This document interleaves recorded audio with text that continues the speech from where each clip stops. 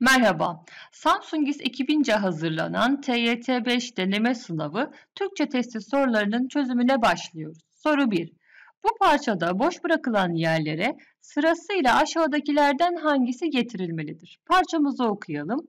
Masallar, mitler ve rüyalar aynı kumaştan biçilmiştir. Başka bir deyişle üçü de psikolojinin üzerinde durduğu bir kavram olan ortak bilinç dışının boşluk. İlk ikisi ortak bilinç dışının şekillenmesi, resimlenmesidir. Rüyalar ise ortak bilinç dışından boşluk, kişisel bilinç dışına aittir. Öncelikle birinci boşluğumuzu doldurmaya çalışalım.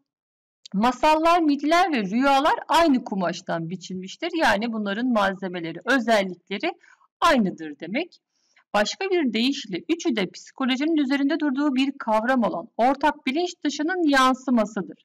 Yani ortak bilinç dışında var olan şeyler, masallar, mitler, rüyalar yoluyla akseder. Evet, anlamlı. B'ye bakalım. Üçü de psikolojinin üzerinde durduğu bir kavram olan ortak bilinç dışının karşıtıdır. Bir karşıtlıktan ziyade aynı kumaştan biçildikleri için benzerlik olması söz konusu. O yüzden B seçeneğini eliyoruz. C'ye bakalım. Üçü de psikolojinin üzerinde durduğu bir kavram olan ortak bilinç dışının toplamıdır. Aynı kumaştan biçilmişti. Örneğin şöyle düşünelim. Ee, bir kadife kumaştan pantolon, gömlek ve elbise yapılıyor. Ee, bu ürünler kadife kumaşın toplamı değildir. Sadece şunu diyebiliriz. Bunlar kadife kumaştan üretilmiştir diyebiliriz. O yüzden bu mantıkla C seçeneği de yanlış oluyor. D'ye bakalım. Üçü de psikolojinin üzerinde durduğu bir kavram olan ortak bilinç dışının ürünüdür. Evet, deminki verdiğimiz örnekten hareketle bunlar onun ortak bilinç dışının ürünüdür. D seçeneği de oluyor. E'ye bakalım. Üçü de psikolojinin üzerinde durduğu bir kavram olan ortak bilinç dışının bileşenidir. Bileşen bir bileşke oluşturan kuvvetlerin her biri. Her biri dediği için de masallar, mitler, rüyalar bunların her biri olabilir. Burada bileşkede zaten ortak bilinç dışı olarak söylenebilir. E seçeneği de oluyor. Şimdi ikinci boşluğa dönelim. İlk ikisi ortak bilinç dışının şekillenmesi, resimlenmesidir. Rüyalar ise ortak bilinç dışından boşluk, kişisel bilinç dışına aittir. Ayrılan dediğimizde e, ortak bilinç dışından ayrılan kişisel bilinç dışına aittir. Dediğimizde aynı kumaştan biçilmesi söz konusu olmuyor. Çünkü uzaklaşıyor. O yüzden A seçeneğini eliyoruz. B ve C'yi de elemiştik. D'ye bakalım. Rüyalar ise ortak bilinç dışından beslenen kişisel bilinç dışına aittir. Beslenmek eşittir. E, yani gelişip büyümesini sağlamak anlamlarında. O yüzden e, D seçeneği doğru oluyor. E'ye de bakalım. Rüyalar ise ortak bilinç dışından uzaklaşan kişisel bilinç dışına aittir. Uzaklaşması demek aynı kumaştan biçilmemesi demek. O yüzden E seçeneği de eleniyor. Doğru cevabımız D seçeneği oluyor. Merhaba, Samsungis ekibince hazırlanan TYT5 deneme sınavı Türkçe testi sorularının çözümüne başlıyoruz. Soru 1. Bu parçada boş bırakılan yerlere sırasıyla aşağıdakilerden hangisi getirilmelidir? Parçamızı okuyalım. Masallar, mitler ve rüyalar aynı kumaştan biçilmiştir. Başka bir deyişle üçü de psikolojinin üzerinde durduğu bir kavram olan ortak bilinç dışının boşluk. İlk ikisi ortak bilinç dışının şekillenmesi, resimlenmesidir. Rüyalar ise ortak bilinç dışından boşluk, kişisel bilinç dışına aittir. Öncelikle birinci boşluğumuzu doldurmaya çalışalım. Masallar, mitler ve rüyalar aynı kumaştan biçilmiştir. Yani bunların malzemeleri, özellikleri aynıdır demek. Başka bir deyişle üçü de psikolojinin üzerinde durduğu bir kavram olan ortak bilinç dışının yansımasıdır.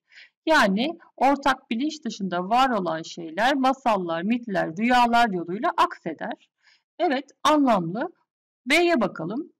Üçü de psikolojinin üzerinde durduğu bir kavram olan ortak bilinç dışının karşıtıdır. Bir karşıtlıktan ziyade aynı kumaştan biçildikleri için benzerlik olması söz konusu. O yüzden B seçeneğini eliyoruz. C'ye bakalım. Üçü de psikolojinin üzerinde durduğu bir kavram olan ortak bilinç dışının toplamıdır. aynı kumaştan biçilmişti. Örneğin şöyle düşünelim. Ee, bir kadife kumaştan pantolon, gömlek ve elbise yapılıyor. Ee, bu ürünler kadife kumaşın toplamı değildir. Sadece şunu diyebiliriz. Bunlar kadife kumaştan üretilmiştir diyebiliriz.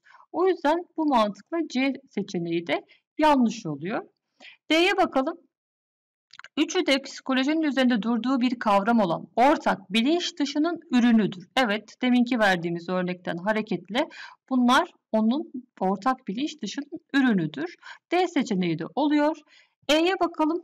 Üçü de psikolojinin üzerinde durduğu bir kavram olan ortak bilinç dışının bileşenidir. Bileşen bir bileşke oluşturan kuvvetlerin her biri her biri dediği için de masallar, mitler, rüyalar bunların her biri olabilir. Burada bileşkede zaten ortak bilinç dışı olarak söylenebilir. E seçeneği de oluyor. Şimdi ikinci boşluğa dönelim. İlk ikisi ortak bilinç dışının şekillenmesi, resimlenmesidir. Rüyalar ise ortak bilinç dışından boşluk, kişisel bilinç dışına aittir. Ayrılan dediğimizde e, ortak bilinç dışından ayrılan kişisel bilinç dışına aittir. Dediğimizde aynı kumaştan biçilmesi söz konusu olmuyor. Çünkü uzaklaşıyor. O yüzden A seçeneğini eliyoruz. B ve C'yi de elemiştik. D'ye bakalım. Rüyalar ise ortak bilinç dışından beslenen kişisel bilinç dışına aittir. Beslenmek eşittir. Ee, yani gelişip büyümesini sağlamak anlamlarında. O yüzden e, D seçeneği doğru oluyor. E'ye de bakalım. Rüyalar ise ortak bilinç dışından uzaklaşan kişisel bilinç dışına aittir. Uzaklaşması demek aynı kumaştan biçilmemesi demek. O yüzden E seçeneği de eleniyor. Doğru cevabımız D seçeneği oluyor. Soru 2. Bu parçadaki numaralanmış sözlerden hangisinin anlamı parantez içinde verilen açıklamayla uyuşmamaktadır? Parçaya bakalım. Elektrikli otomobillerle fosil yakıtlı otomobillerin mücadelesi, birbirine üstün gelme çabası 100 yıl önce ortaya çıkmıştır, baş göstermiştir. Mücadele iki taraf arasında galip gelme için gösterilen gayret. Yani burada birbirine üstün gelme çabası olarak tanımlanmış. O yüzden birinci e, kelime anlam bakımından uyuşuyor. İkiye bakalım ortaya çıkmıştır yani meydana gelmiştir, var olmuştur, zuhur etmiştir, belirmiştir, baş göstermiştir de aynı anlamda. O yüzden ikinci kelimemiz de anlam bakımından parantez içiyle uyuşuyor. Şimdi devam edelim. 1900 yılında satılan otomobillerin 1681'i buharlı, 1575'i elektrikli, 944'ü işten yanmalıydı. Bu durumun devam edeceği düşünülüyordu fakat 1917'de durum tam tersine dönmüştü, iş çığırından çıkmıştı.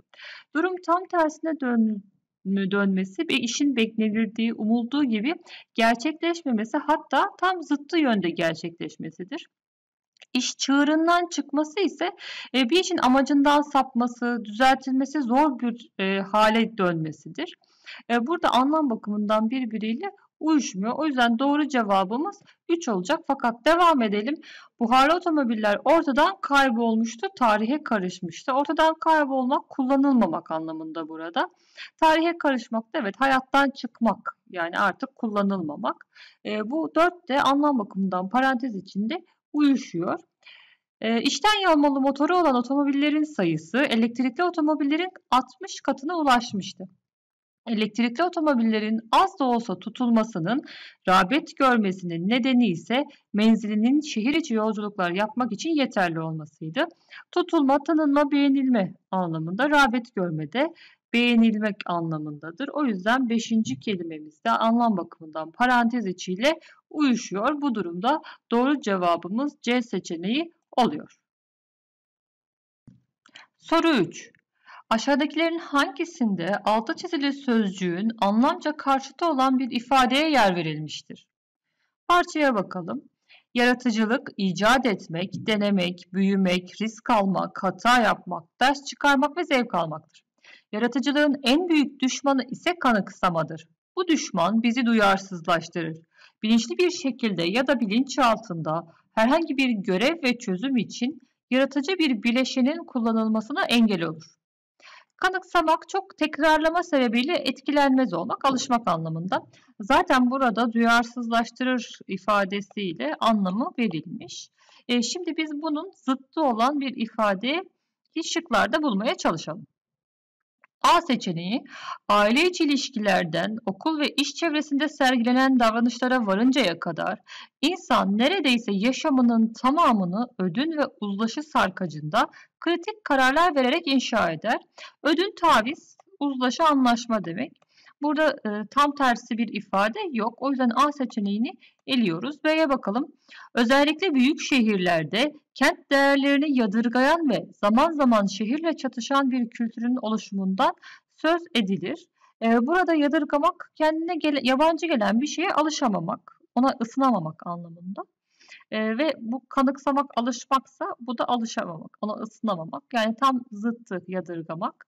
E, o yüzden cevabımız B seçeneği oluyor. Fakat diğer şıklara da bakalım. Çocuklar karşısındaki kişi ile iletişim kurma yolunun sadece evde gördüğü davranış biçimlerini sergilemek olduğunu düşünür ve aileyi modellemeye başlar. Yani aileyi örnek alır. Burada e, kanıksamanın zıttı ile ilgili herhangi bir ifade yok. C seçeneğinde eliyoruz. D'ye bakalım. Zeka testleri kişinin olası bir öğrenme güçlüğünün ya da hangi yetilerinin ne kadar gelişmiş olduğunu saptanması amacıyla kullanılır. Yine ÖSYM'nin çokça kullandığı bir kelime saptama, belirleme demek. Ama burada kanıksamanın zıttı yok. D seçeneğinde eliyoruz. E'ye bakalım. Çalışanların örgütsel yapının bir parçası haline gelmesi büyük ölçüde yöneticilerin sergilemiş oldukları liderlik davranışları ile ilişkilidir. Burada da herhangi kanıksamayla zıttıyla ilgili herhangi bir ifade yok. E seçeneğinde eliyoruz. Doğru cevabımız B seçeneği oluyor. Dördüncü soruyla devam ediyoruz. Bu parçada numaralanmış sözlerden hangisi yanlış kullanılmıştır? Parçaya bakalım. Hayat hiç bitmeyen bir büyüme, gelişim ve değişim yolculuğudur derler. Atalarımızın bu konularla ilgili bizlere miras bıraktığı harika tecrübeleri vardır. Mesela değişim sürecinin nasıl gerçekleştiğiyle ilgili olarak benzeye benzeye yaz, benzeye benzeye kış olur demişlerdir. Söz söz gidelim. Benzeye benzeye yaz, benzeye benzeye kış olur demek. Günler birbirinden çok farklı olmadığı halde hava yavaş yavaş ısınarak yaz aynı biçimde yavaş yavaş soğuyarak kış olur anlamındadır. Yani değişim sürecinin nasıl gerçekleştiğini anlatmaktadır. O yüzden bir doğru. 2 ile devam edelim. Başka bir etkiyle değişmemeyi, bozulmamayı ifade etmek için su katılmamış, kişinin farklılık yarattığını, değişiklik kazandırdığını anlatmak için ise renk katmak deyimlerini kullanmışlardır. Su katılmamış, kendine özgü olan durumu koruyan, başka bir etkiyle değişmemiş, bozulmamış olan anlamındadır. Zaten burada da ifade edilmiş. O yüzden 2 de doğru. Renk katmak, çeşitlilik kazandırmak, farklılık yaratmak anlamlarındadır. O yüzden 3 de doğru. Devam edelim. Değişim yerine statükoyu tercih etmeyi eski hamam eski tas ifadesiyle karşılamışlar. Eski hamam eski tas hiçbir şey değişmemiş, eski durumunda kalmış anlamında kullanılan bir söz. Statükoda e, süregelen düzenin korunmasıdır. İkisi de e, anlam bakımından uyuşuyor. O yüzden 4 de e, anlam bakımından e, karşılıyor ifadeyi. Devam edelim. Ve, in, ve insan görünürde değişse bile aslının değişmesinin olanaksızlığını anlatmak için de ağaç ne kadar uzasa da başı göğe ermez ifadesini kullanmışlardır. Ağaç ne kadar uzasa da başı göğe ermez yani insan ne kadar yükselirse yükselsin bir yerde durur. Çünkü yetenekleri, olanakları dışında iş ve eser üretemez.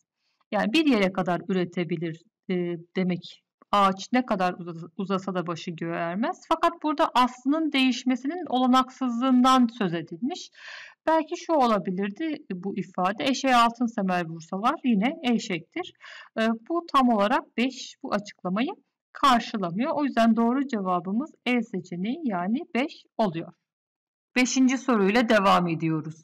Bu parçada altı çizili sözle şiir okuru ile ilgili anlatılmak istenen aşağıdakilerden hangisidir? Parçaya bakalım.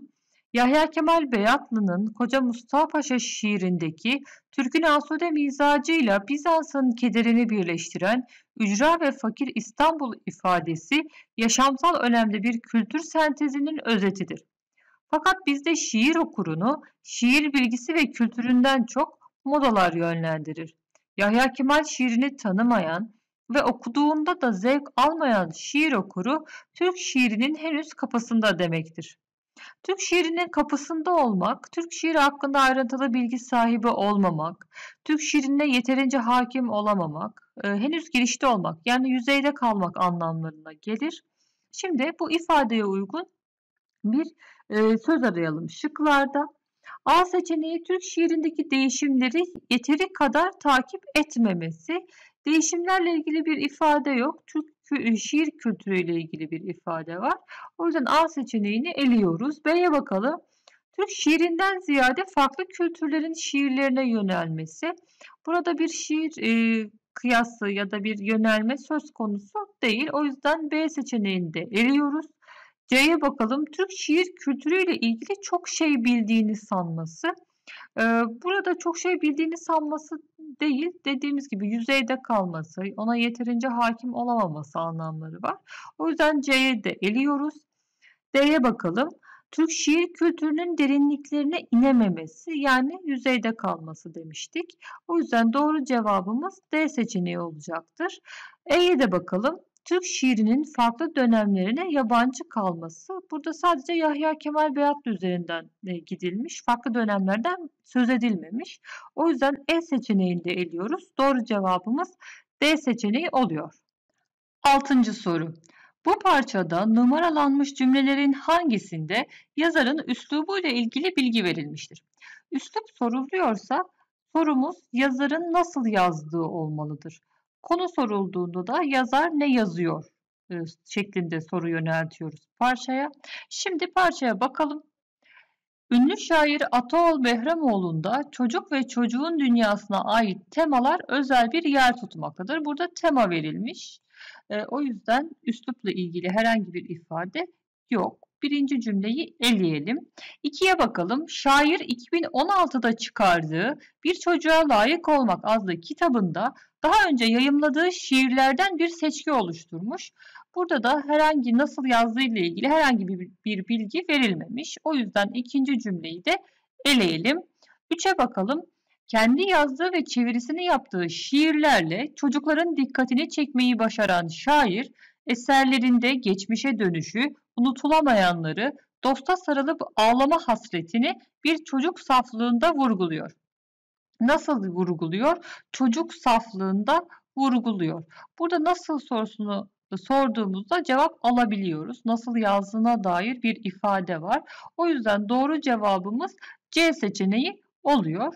Fakat diğer şıklara da bakalım. Böylece biz yetişkinlerin de çocukluğuna gitmesine yardımcı oluyor. Yine e, her üslubuyla ilgili bir ifade yok. 5. Ayrıca şair bu seçkisiyle sanatsal yaratıcılığın temelinde geçmişin ve çocukluğa geri dönüşün olduğunu ifade ediyor. Burada da konuyla ilgili bir e, cümle var. O yüzden E seçeneğinde eliyoruz. Doğru cevabımız C şıkkı oluyor. Soru 7. Yukarıdaki numaralanmış sözler anlamlı ve kurallı bir cümle oluşturacak biçimde sıralandığında hangisi baştan dördüncü olur? Bakalım duygu dilinin imgeler aracılığıyla 2 yazalım. Şiire dönüşmesi sonucunda 5 Ortaya çıkan ürünler 3 özneyi bulduk. Devam edelim. Kişinin iç dünyasını 4 kurmasında ve zenginleştirmesinde 1 ve son olarak çok değerli kazanımlar sağlayacaktır. 6 zaten o verilmiş. Bu durumda tekrar okuyalım. Duygu dilinin imgeler aracılığıyla şiire dönüşmesi sonucunda ortaya çıkan ürünler e, kişinin iç dünyasını kurmasında ve zenginleştirmesinde çok değerli kazanımlar sağlayacaktır. Bu durumda doğru cevabımız 4 yani D seçeneği oluyor. 8. soru. Bu cümleden hareketle aşağıdakilerden hangisine ulaşılabilir? İlk şamanın dünyaya kartal biçiminde indiğini düşünen şamanların 13 kutsal noktasından biri olan ve Sibirya'da bulunan Olkon Adası'ndaki Şaman Kaya'da beyaz başlı kutsal kartalın yaşadığına inanılmaktadır. A seçeneğine bakalım. Şamanların Sibirya'daki Şaman Kaya haricinde başka kutsal mekanları da vardır. Evet Şaman Kaya'nın kutsal olduğu 13 kutsal noktadan biri olduğu söylenmiş. Demek ki bunun haricinde 12 kutsal nokta daha var. Bu durumda A seçeneği doğru oluyor. Diğer şıklara da bakalım. Olkon Adası'nın kutsal sayılmasının nedeni Kartal'ın ilk şamanı bu adaya indirmesidir. E, Kartal'ın şamanı bu adaya indirmesiyle ilgili bir ifade yok. O yüzden B seçeneğini eliyoruz. C'ye bakalım.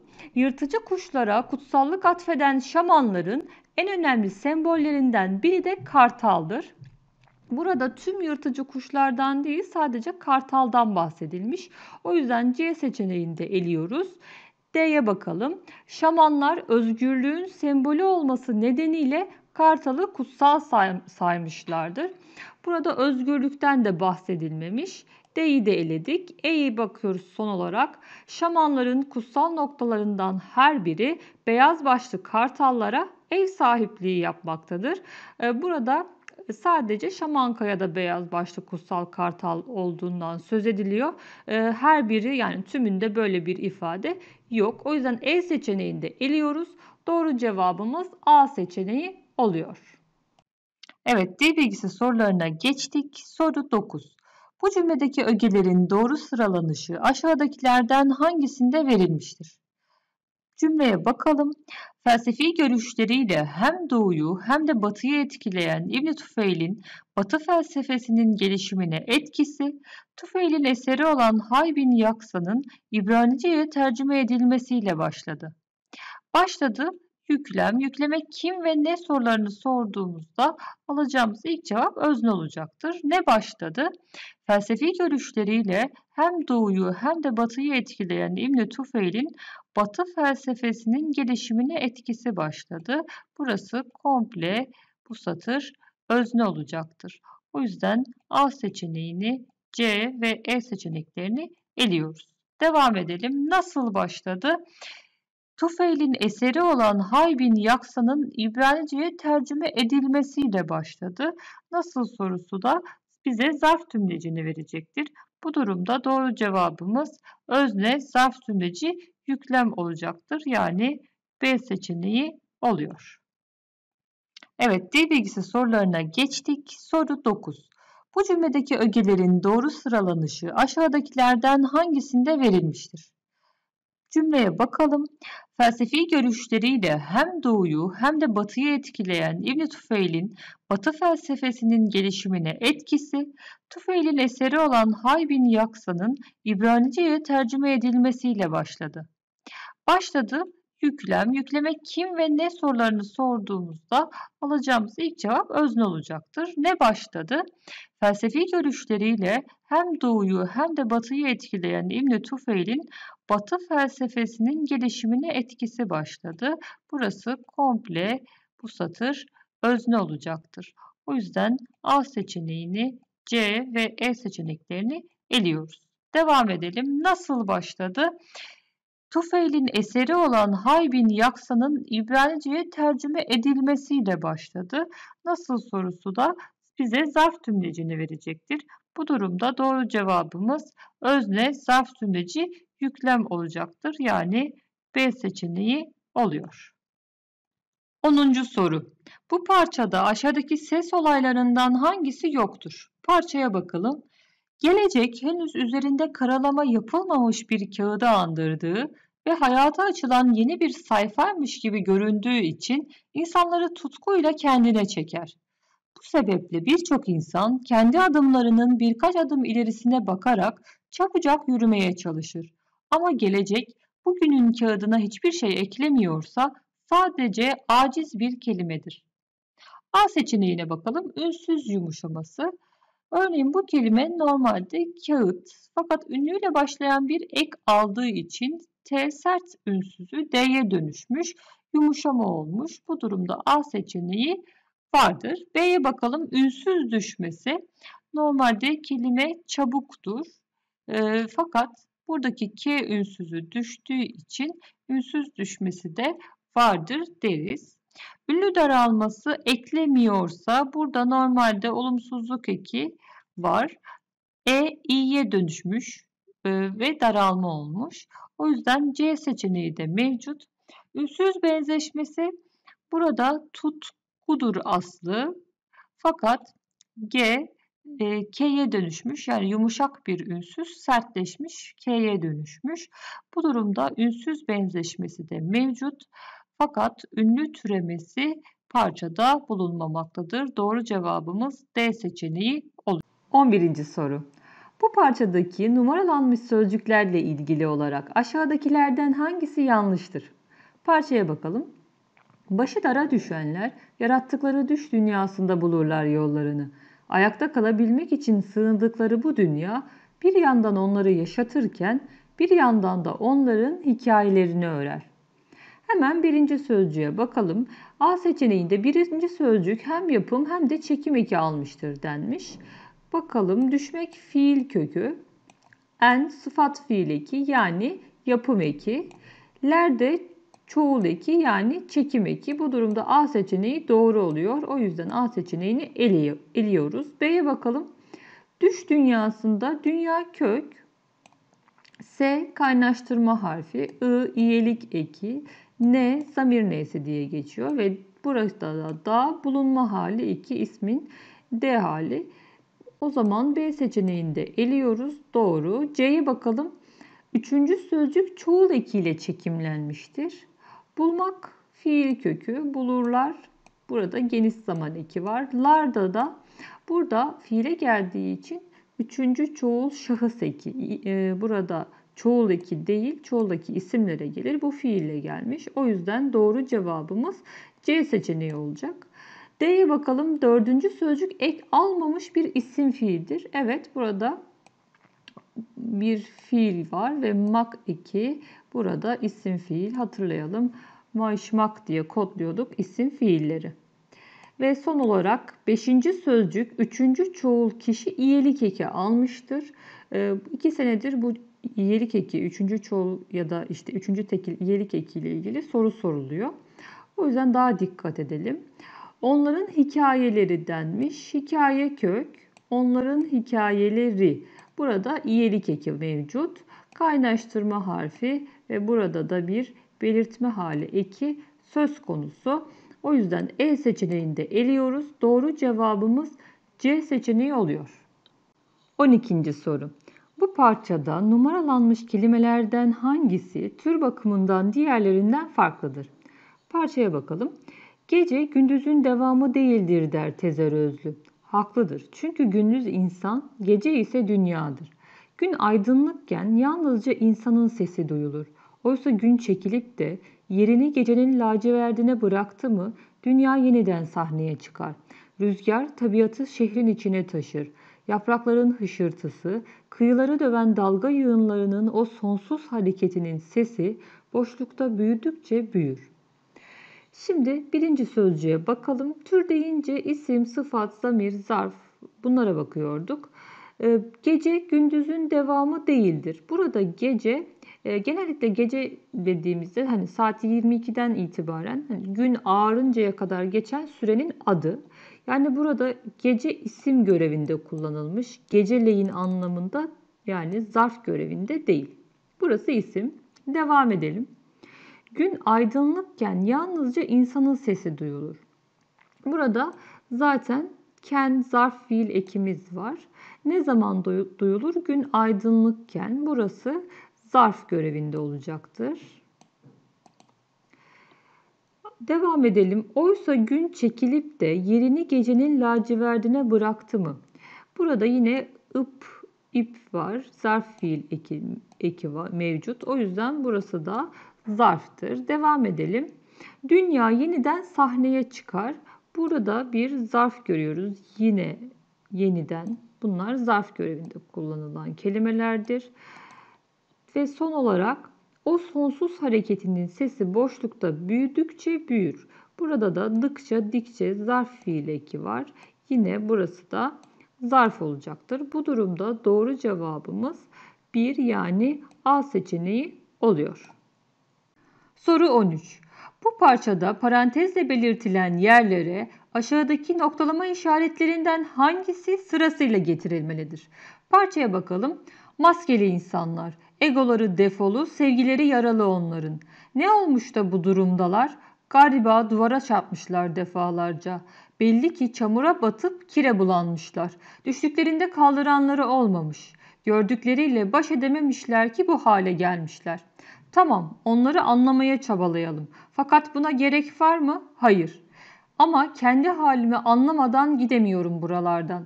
Bir köşede onları görüyorum. Kendime benzetiyorum. Karışmışız birbirimize. Özümde maskelerinden izler var. Maskemde onların özlerinden var. Kendimden kaçamıyorum. Öncelikle birinci parantezi doldurmaya çalışalım. Maskeli insanlar eksiltili cümle olduğu için burada 3 nokta olabilir. Bu durumda A ve B seçenekleri olabilir. C ve D'deki işaretler ünlem ve 2 nokta. Bu 2019 TYT'de sorulmuştu. E, maskeli insanlar yazar burada onlara sesleniyor olabilir veya coşkuyla söylemek e, bu ifadeyi coşkuyla söylemek istiyor olabilir. O yüzden ünlem olur ve eksiltili cümlesinde devamında iki nokta ünlemden sonra iki nokta kullanmak yeterlidir. O yüzden C ve D seçenekleri de olabilir. E'ye bakalım maskeli insanlar iki nokta. Burada bir açıklama yapıyor maskeli insanlarla ve burada bir cümle var. O yüzden iki noktada burada kullanılabilir. Ee, ilk boşluk için bütün seçeneklerdeki ifadeler noktalama işaretleri doğru oluyor. O yüzden ikinci e, boşluğa bakalım. Ne olmuş da bu durumdalar? Burada soru ifadesi olduğu için soru işareti olacaktır. A seçeneği olabilir. B'yi eliyoruz. C'yi eliyoruz. D'de soru işareti var. E'de soru işareti var. Devam edelim. Tamam onları anlamaya çabalayalım. Burada bir onay var. Onaydan sonra onay ifade bildiren kelimelerden sonra virgül konuluyor. Bu durumda A seçeneği doğru. Burada e, noktalı virgül var. Burada da noktalı virgül var. D ve E seçenekleri yanlış oluyor. A seçeneği doğru fakat biz yine de devam edelim. Hayır. Burada nokta da olabilir, ünlem de olabilir. Yazarın üslubuna göre değişir. Burada yazar ünlem kullanmayı tercih etmiş. Ve son olarak maskemde onların özlerinden var, kendimden kaçamıyorum. Burası tam anlam olarak tamamlanmış bir cümle. O yüzden nokta olmalı. Bu durumda doğru cevabımız A seçeneği oluyor. 14. soru. Bu parçada numaralanmış virgüllerden hangisinin kullanımı doğrudur? Parçaya bakalım. Bir yerde böbürlenme gördüğünüzde burnunuza yoğun bir değersizlik duygusunun yaydığı çürüme kokusu gelebilir. Bütün samimiyetsizlik ve kötülüğü dışarıda bulan avcıların riyakarlığı kendilerinde iyileştirmeye değer hiçbir nitelik bulmamalarından ileri gelir. Oysa toplumsal bir meselenin o toplumu oluşturan fertlerin bazısına hiç dokunmaması mümkün değildir.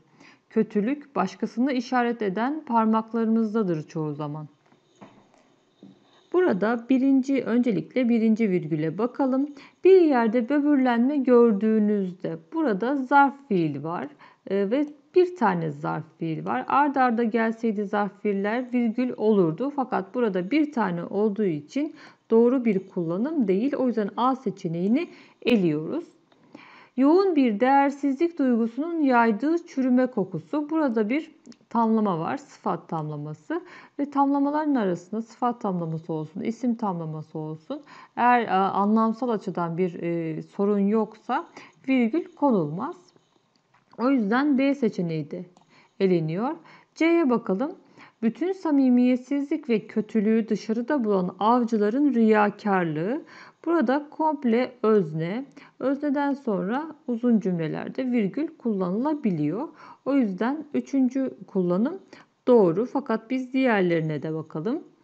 Oysa toplumsal bir meselenin o toplumu oluşturan fertlerin bazısına burada bir isim tamlaması var. O yüzden burada da uygun bir kullanım yok. Kötülük başkasını işaret eden parmaklarımızdadır. Burada da bir sıfat tamlaması mevcut. O, yüzden 5'te de virgül olmamalıydı. Bu durumda doğru cevabımız C seçeneği oluyor. 15. soruyla devam ediyoruz. Aşağıdaki cümlelerin hangisinde altı çizili sözcüklerin yazımı yanlıştır? E'ye bakalım. Madem ki gelmeyecektin o zaman bize bunu niye söylemedin? Burada bir bağlaç var. Ki bağlacı. Normalde bağlaçlar ayrı yazılır kelimeden fakat burada kalıplaşmış olarak bitişiklik söz konusu. O yüzden madem ki doğru oluyor. İçerisi kararınca masanın üstündeki gümüş şamdanın mumunu yakmak zorunda kaldı. Burada da sıfat yapan ki var. Sıfat yapan ki kelimeye bitişik yazılır. Zaten bir ektir. O yüzden burası da doğru. E seçeneğini eliyoruz. D'ye bakalım. Okullar genelde Eylül'ün ikinci haftası öğretime başlar. Burada belirli bir tarih verilmediği için E küçük olmalıdır. Doğru. Türkiye Büyük Millet Meclisi her yıl 1 Ekim'de toplanır. Burada da 1 Ekim diye özel bir tarih verildiği için E büyük olmalı ve kesme işaretiyle de gelen ek ayrılmalıdır. Burası da doğru. D seçeneğinde eliyoruz. C'ye bakıyoruz. Nar çiçeği yağı cildi eski tazeliğine geri döndürmekte çok etkilidir. Burada e, çiçek kelimesi anlamını yitirmemiş. Normalde her ikisi ya da e, sonuncu kelime anlamını yitirdiyse kelime bitişik yazılıyor. Birleşik kelimeler bitişik yazılıyor. Fakat burada çiçek anlamını yitirmemiş. E, o yüzden nar çiçeği doğru. İnsanın içini açan bir renk olan nar çiçeği özellikle yaz aylarında çok tercih edilir. Burada artık çiçek olmaktan çıkmış bir renk adı olmuş. Anlam yitirildiği için bitişik yazılmalıdır. Burası da doğru. Bu durumda C seçeneğini de eliyoruz. B'ye geçtik. Kuzeyde Tuz Gölü ve batıda Beyşehir ile sınırlanan bölgede jeologlar çalışmaktadır. Yön belirttiği için batının B'si küçük olacaktır. Müslüman bilim adamlarının batıya etkisi 18. yüzyıla kadar devam etmiştir. Burada batı zihniyet, düşünce sistemi olarak e, ifade edilmiş. Bu anlamda ise B büyük yazılır. O yüzden bu ifade de doğru. B seçeneğini de eliyoruz. Son olarak A seçeneği yeraltı edebiyatı hayatın ana damarıyla değil kılcal damarlarıyla beslenir. Ee, burada yeraltı somut olarak bir yer bildirmiyor yeraltı edebiyatı. Ee, somut olarak yer bildirmiyorsa burası bitişik olmalıydı. O yüzden yanlış. Buraya da bakalım. Nevşehir'in Çalış beldesinde geçmişi önce 3000'lere dayanan yeraltı şehri bulunmuştur. Burada aksine e, yeraltı bir mekan belirtiyor. O yüzden ayrı olmalıydı. Bu durumda doğru cevabımız A seçeneği oluyor. 16. soru. Aşağıdaki cümlelerin hangisinde bu kurala uyulmadığı için yazım yanlışı yapılmıştır? Kuralı okuyalım. Türkçede an en, re, ar, er, mazmez, sıfat fiil ekleriyle kurulan sıfat tamlaması yapısındaki birleşik kelimeler ayrı yazılır. Biz e, şıklarda bu ekleri aramaya çalışalım. A seçeneği birden gözümün önüne yıllardır görmediğim ve hiç de düşünmediğim bir arkadaşımın yüzü geliverdi. Burada er var fakat buradaki er sıfat fiil eki değil gelmek ve i vermek e, iki fiilin birleşmesiyle oluşan buraya tezlik fiili diyoruz zaten bir birleşik fiil var burada. O yüzden A seçeneğini eliyoruz. B'ye bakalım. 1980'li yılların ortalarında katma değer vergisi kanunu ile hayatımıza giren yazar kasalar teknolojinin gelişmesiyle birlikte şekil değiştirdi. Burada ar eki var. Ee, yazar kasa, nasıl kasa, yazar kasa. Burası sıfat tamlaması. Hem de sıfat fiil ekimiz mevcut. Bu durumda bu kelime ayrı yazılmalıydı. Doğru cevabımız B seçeneği fakat diğer şıklara da bakalım. Finansal okur yazarlık kişinin para kullanma ve yönetimi hakkında etkili karar verme yetisidir. Burada evet ar var, okumak, yazmak. Fakat buradaki ar geniş zaman eki, sıfat fiil eki değil. O yüzden C seçeneğini de eliyoruz. D'ye bakalım. Dalga kıranlar, liman, balıkçı barınağı ve bunun gibi tesislerde konuşlandırıldıkları alanların gerisinde sakin bir su bölgesi oluşturur. Ee, burada dalga kıran burada sıfat fiil eki var mevcut. Fakat burası sıfat tamlaması yapısında değil. O yüzden D seçeneğini de eliyoruz. E'ye bakalım. Bireyin ülkesine yönelik tutumunun vatanseverlik kavramıyla şekillenmesinde 19. yüzyıl önemli bir yer tutar. Burada da vatansever yine aynı şekilde dalga kıran gibi burası da bir sıfat tamlaması değil fakat tabii ki sıfat fiil mevcut. Sıfat tamlaması olmadığı için bu şıkkı da eliyoruz. Bu durumda doğru cevabımız B seçeneği oluyor. 16. soru. Aşağıdaki cümlelerin hangisinde bu kurala uyulmadığı için yazım yanlışı yapılmıştır? Kuralı okuyalım. Türkçede an en, re, ar, er, mazmez sıfat fiil ekleriyle kurulan sıfat tamlaması yapısındaki birleşik kelimeler ayrı yazılır. Biz e, şıklarda bu ekleri aramaya çalışalım. A seçeneği birden gözümün önüne yıllardır görmediğim ve hiç de düşünmediğim bir arkadaşımın yüzü geliverdi. Burada er var fakat buradaki er sıfat fiil eki değil gelmek ve i vermek e, iki fiilin birleşmesiyle oluşan buraya tezlik fiili diyoruz zaten bir birleşik fiil var burada. O yüzden A seçeneğini eliyoruz. B'ye bakalım. 1980'li yılların ortalarında katma değer vergisi kanunu ile hayatımıza giren yazar kasalar teknolojinin gelişmesiyle birlikte şekil değiştirdi. Burada ar eki var. Ee, yazar kasa, nasıl kasa, yazar kasa. Burası sıfat tamlaması. Hem de sıfat fiil ekimiz mevcut. Bu durumda bu kelime ayrı yazılmalıydı. Doğru cevabımız B seçeneği fakat diğer şıklara da bakalım. Finansal okur yazarlık kişinin para kullanma ve yönetimi hakkında etkili karar verme yetisidir. Burada evet ar var okumak, yazmak. Fakat buradaki ar geniş zaman eki, sıfat fiil eki değil. O yüzden C seçeneğini de eliyoruz. D'ye bakalım. Dalga kıranlar, liman, balıkçı barınağı ve bunun gibi tesislerde konuşlandırıldıkları alanların gerisinde sakin bir su bölgesi oluşturur. Ee, burada dalga kıran, burada sıfat fiil eki var mevcut. Fakat burası sıfat tamlaması yapısında değil. O yüzden D seçeneğini de eliyoruz. E'ye bakalım. Bireyin ülkesine yönelik tutumunun vatanseverlik kavramıyla şekillenmesinde 19. yüzyıl önemli bir yer tutar. Burada da vatansever yine aynı şekilde dalga kıran gibi burası da bir sıfat tamlaması değil fakat tabii ki sıfat fiil mevcut. Sıfat tamlaması olmadığı için bu şıkkı da eliyoruz. Bu durumda doğru cevabımız B seçeneği oluyor. 17. soru paragraf sorularıyla devam ediyoruz. Bu parça iki paragrafa ayrılmak istense ikinci paragraf numaralanmış cümlelerin hangisiyle başlar? Parçaya bakalım. Fiziksel ve zihinsel gelişimle beraber çocukların çizimleri yaşları büyüdükçe daha oranlı ve gerçekçi olur. Çocuk çizimleriyle ilgili bir ifade verilmiş. Yalnızca karalama olarak başlayan çizimler yavaş yavaş bir kompozisyon haline alır. Çünkü fiziksel ve zihinsel gelişimle beraber daha gerçekçi olur denmişti. Burada da onun bir düzen içinde ilerlediğini söylüyor. Anlam bakımından birbirini tamamlayan iki cümle. 3 ile devam edelim. Yapılan çalışmalar doğrultusunda çocuk resimlerinin belirli gelişim evrelerinden geçtikleri bilinmektedir. Burada da yine zihinsel gelişimle birlikte belirli gelişim evrelerinden geçiyor. Bunu açıklayacak. 3-4 yaş arasındaki çocuklar sadece kafadan oluşan insan figürleri çizerken 5-7 yaş arasında çizilen insan figürlerinde hem kafa hem de gövde vardır ve bunlar birbirine bitişiktir. Ee, burada bir kompozisyon halinde olduğunu görüyoruz. Yani bunların bitişik olması bir düzen içermesi demektir. O yüzden bir kompozisyon var. Anlam bakımından devam ediyor parça. 5 ile devam edelim.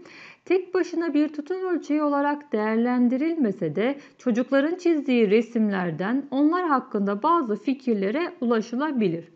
Burada artık e, zihinsel ve fiziksel gelişimden ziyade çocukların çizdiği resimlerden onlar hakkında bir fikir edinme söz konusu. Tamamen anlam konu değişmiş. O yüzden 5'ten ayrılmamız gerekiyor. Zaten 6'da da başın vücuda göre büyük çizilmesi çocuğun kendisini diğer çocuklardan aşağıda gördüğüne işaret edebilirken Olduğundan küçük çizilen baş düşüncelerinin önemsenmediğini düşünen çocuklarda görülür. Zaten bu e, onlar hakkında bazı fikirler 6. cümlede mevcut. O yüzden doğru cevabımız 5 yani D seçeneği oluyor. 18. soru. Bu parçada numaralanmış cümlelerden hangisi düşüncenin akışını bozmaktadır? Bakalım iki kuru yüzeyi yapıştırma işlemi yapıştırıcı malzemeler yoluyla kolay bir şekilde gerçekleştirilebiliyor. Vücut dokuları gibi ıslak yüzeyler söz konusu olduğundaysa su yüzeyler arasında bariyer oluşturarak yapışmanın etkili bir şekilde gerçekleşmesini zorlaştırıyor.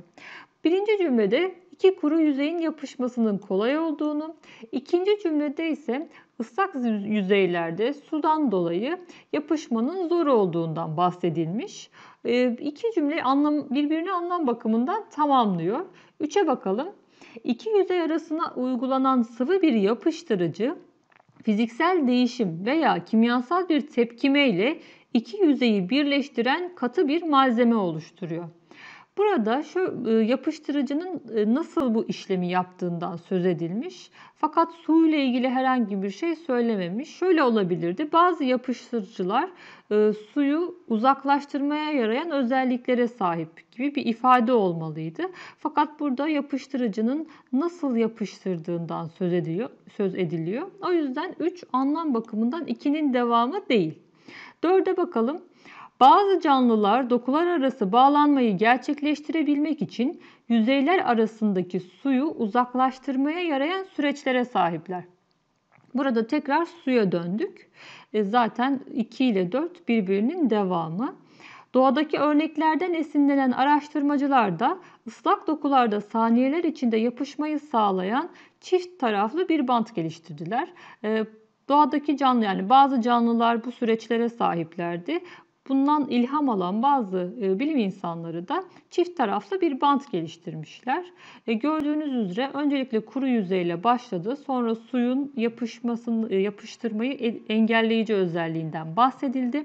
Sonra bazı canlıların e, bünyesinde e, suyu uzaklaştırmaya yarayan sistem olduğu söylenildi ve bilim insanlarının da bu sistemden yar, yararlanarak çift taraflı bir bant geliştirdiklerinden bahsedildi. Burada üçüncü cümle e, anlam bakımından düşüncenin akışını bozuyor. Doğru cevabımız bu durumda C seçeneği oluyor. 19. soru. Bu parçanın anlatımı ile ilgili aşağıdakilerden hangisi söylenemez? Eski Yunan'da bu anlayış İslam dünyasında da karşılık bulmuştur. İnsana meydana getiren dört temel salgı olduğuna inanılırdı. Söz edilen dört salgı kan, balgam, kara safra ve sarı safradır. Mide ve dalakta yer alan kara safraya İslam tıbbında sevda denirdi. İnsanın aşık olunca mide krampları yaşaması sanırım bundandır. İnandınız mı? Tabii ki doğru değil bu dediğim. Ama şöyle bir hakikat var. Bu salgılardan biri vücutta daha fazlaysa onun sizin karakterinizi belirlediğine inanılırdı. Örneğin bir insanın kara safrası doğuştan baskınsa o kişi sevdavi yani melankolik olurdu. Zaten aslında kara, siyah anlamına gelen sevda sözcüğünün de aşk anlamı kazanması biraz buradan kaynaklanır tanımlamadan yararlanılmıştır denmiş. A seçeneğinde şurada mide ve dalakta yer alan kara safraya İslam tıbbında sevda denirdi. Burada denirdi ifadesiyle tanımlamadan yararlanıldığı söylenebilir. E, mide ve dalakta yer alan kara safranın İslam tıbbındaki adı sevdadır şeklinde de söylenebilir. Yani bu denir ifadesi tanımlamadan yararlanıldığını gösterir. B'ye bakalım sohbet havasında yazılmıştır. Bu e, inandınız mı? Tabii ki doğru değil bu dediğim. Yazar burada karşısındaki kişiyle, okuyucularla konuşur e, şekilde yazmış. O yüzden sohbet havasında yazıldığı söylenebilir. C'ye bakalım açıklamaya yer verilmiştir. Evet e, bu dört salgının mizaç üzerindeki etkilerinden söz edilmiş. O yüzden B, e, C seçeneği de doğru. D'ye bakalım karşılaştırma yapılmıştır. Evet vücutta daha fazlaysa biri diğerlerinden daha fazlaysa burada bir karşılaştırma, bir kıyas söz konusu. Kıyas varsa karşılaştırma da mevcuttur. D seçeneği de doğru. Düşünceler alıntılarla pekiştirilmiştir. Burada herhangi birinin sözüne, düşüncesine e, tırnak içinde yer verilmemiş, aktarılmamış onun e, düşünceleri. O yüzden E seçeneği yanlış oluyor.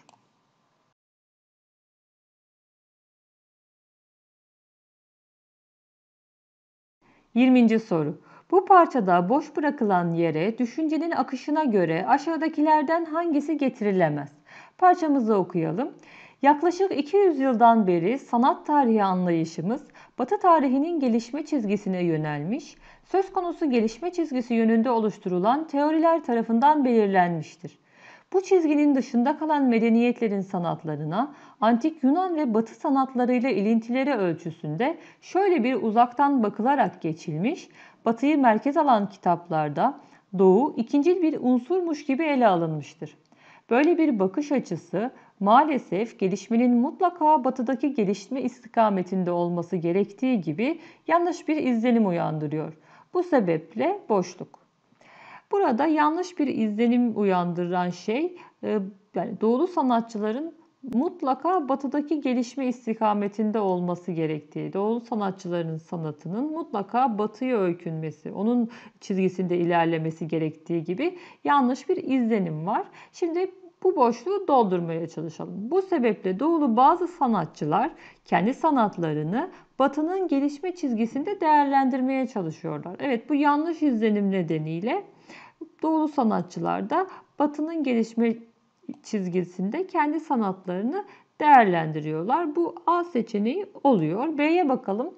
Bu sebeple Batı sanatının gelişimi Antik Yunan'dan başlayıp günümüze kadar uzanan bir süreci kapsıyor. Burada Batı sanatının gelişiminden bahsedilmiş. Doğu sanatı ile ilgili herhangi bir ifade yok. Oysa ki yanlış bir izlenimi devam ettirmesi gerekirdi. O yüzden cevabımız B seçeneği. Fakat diğer şıklara da bakalım.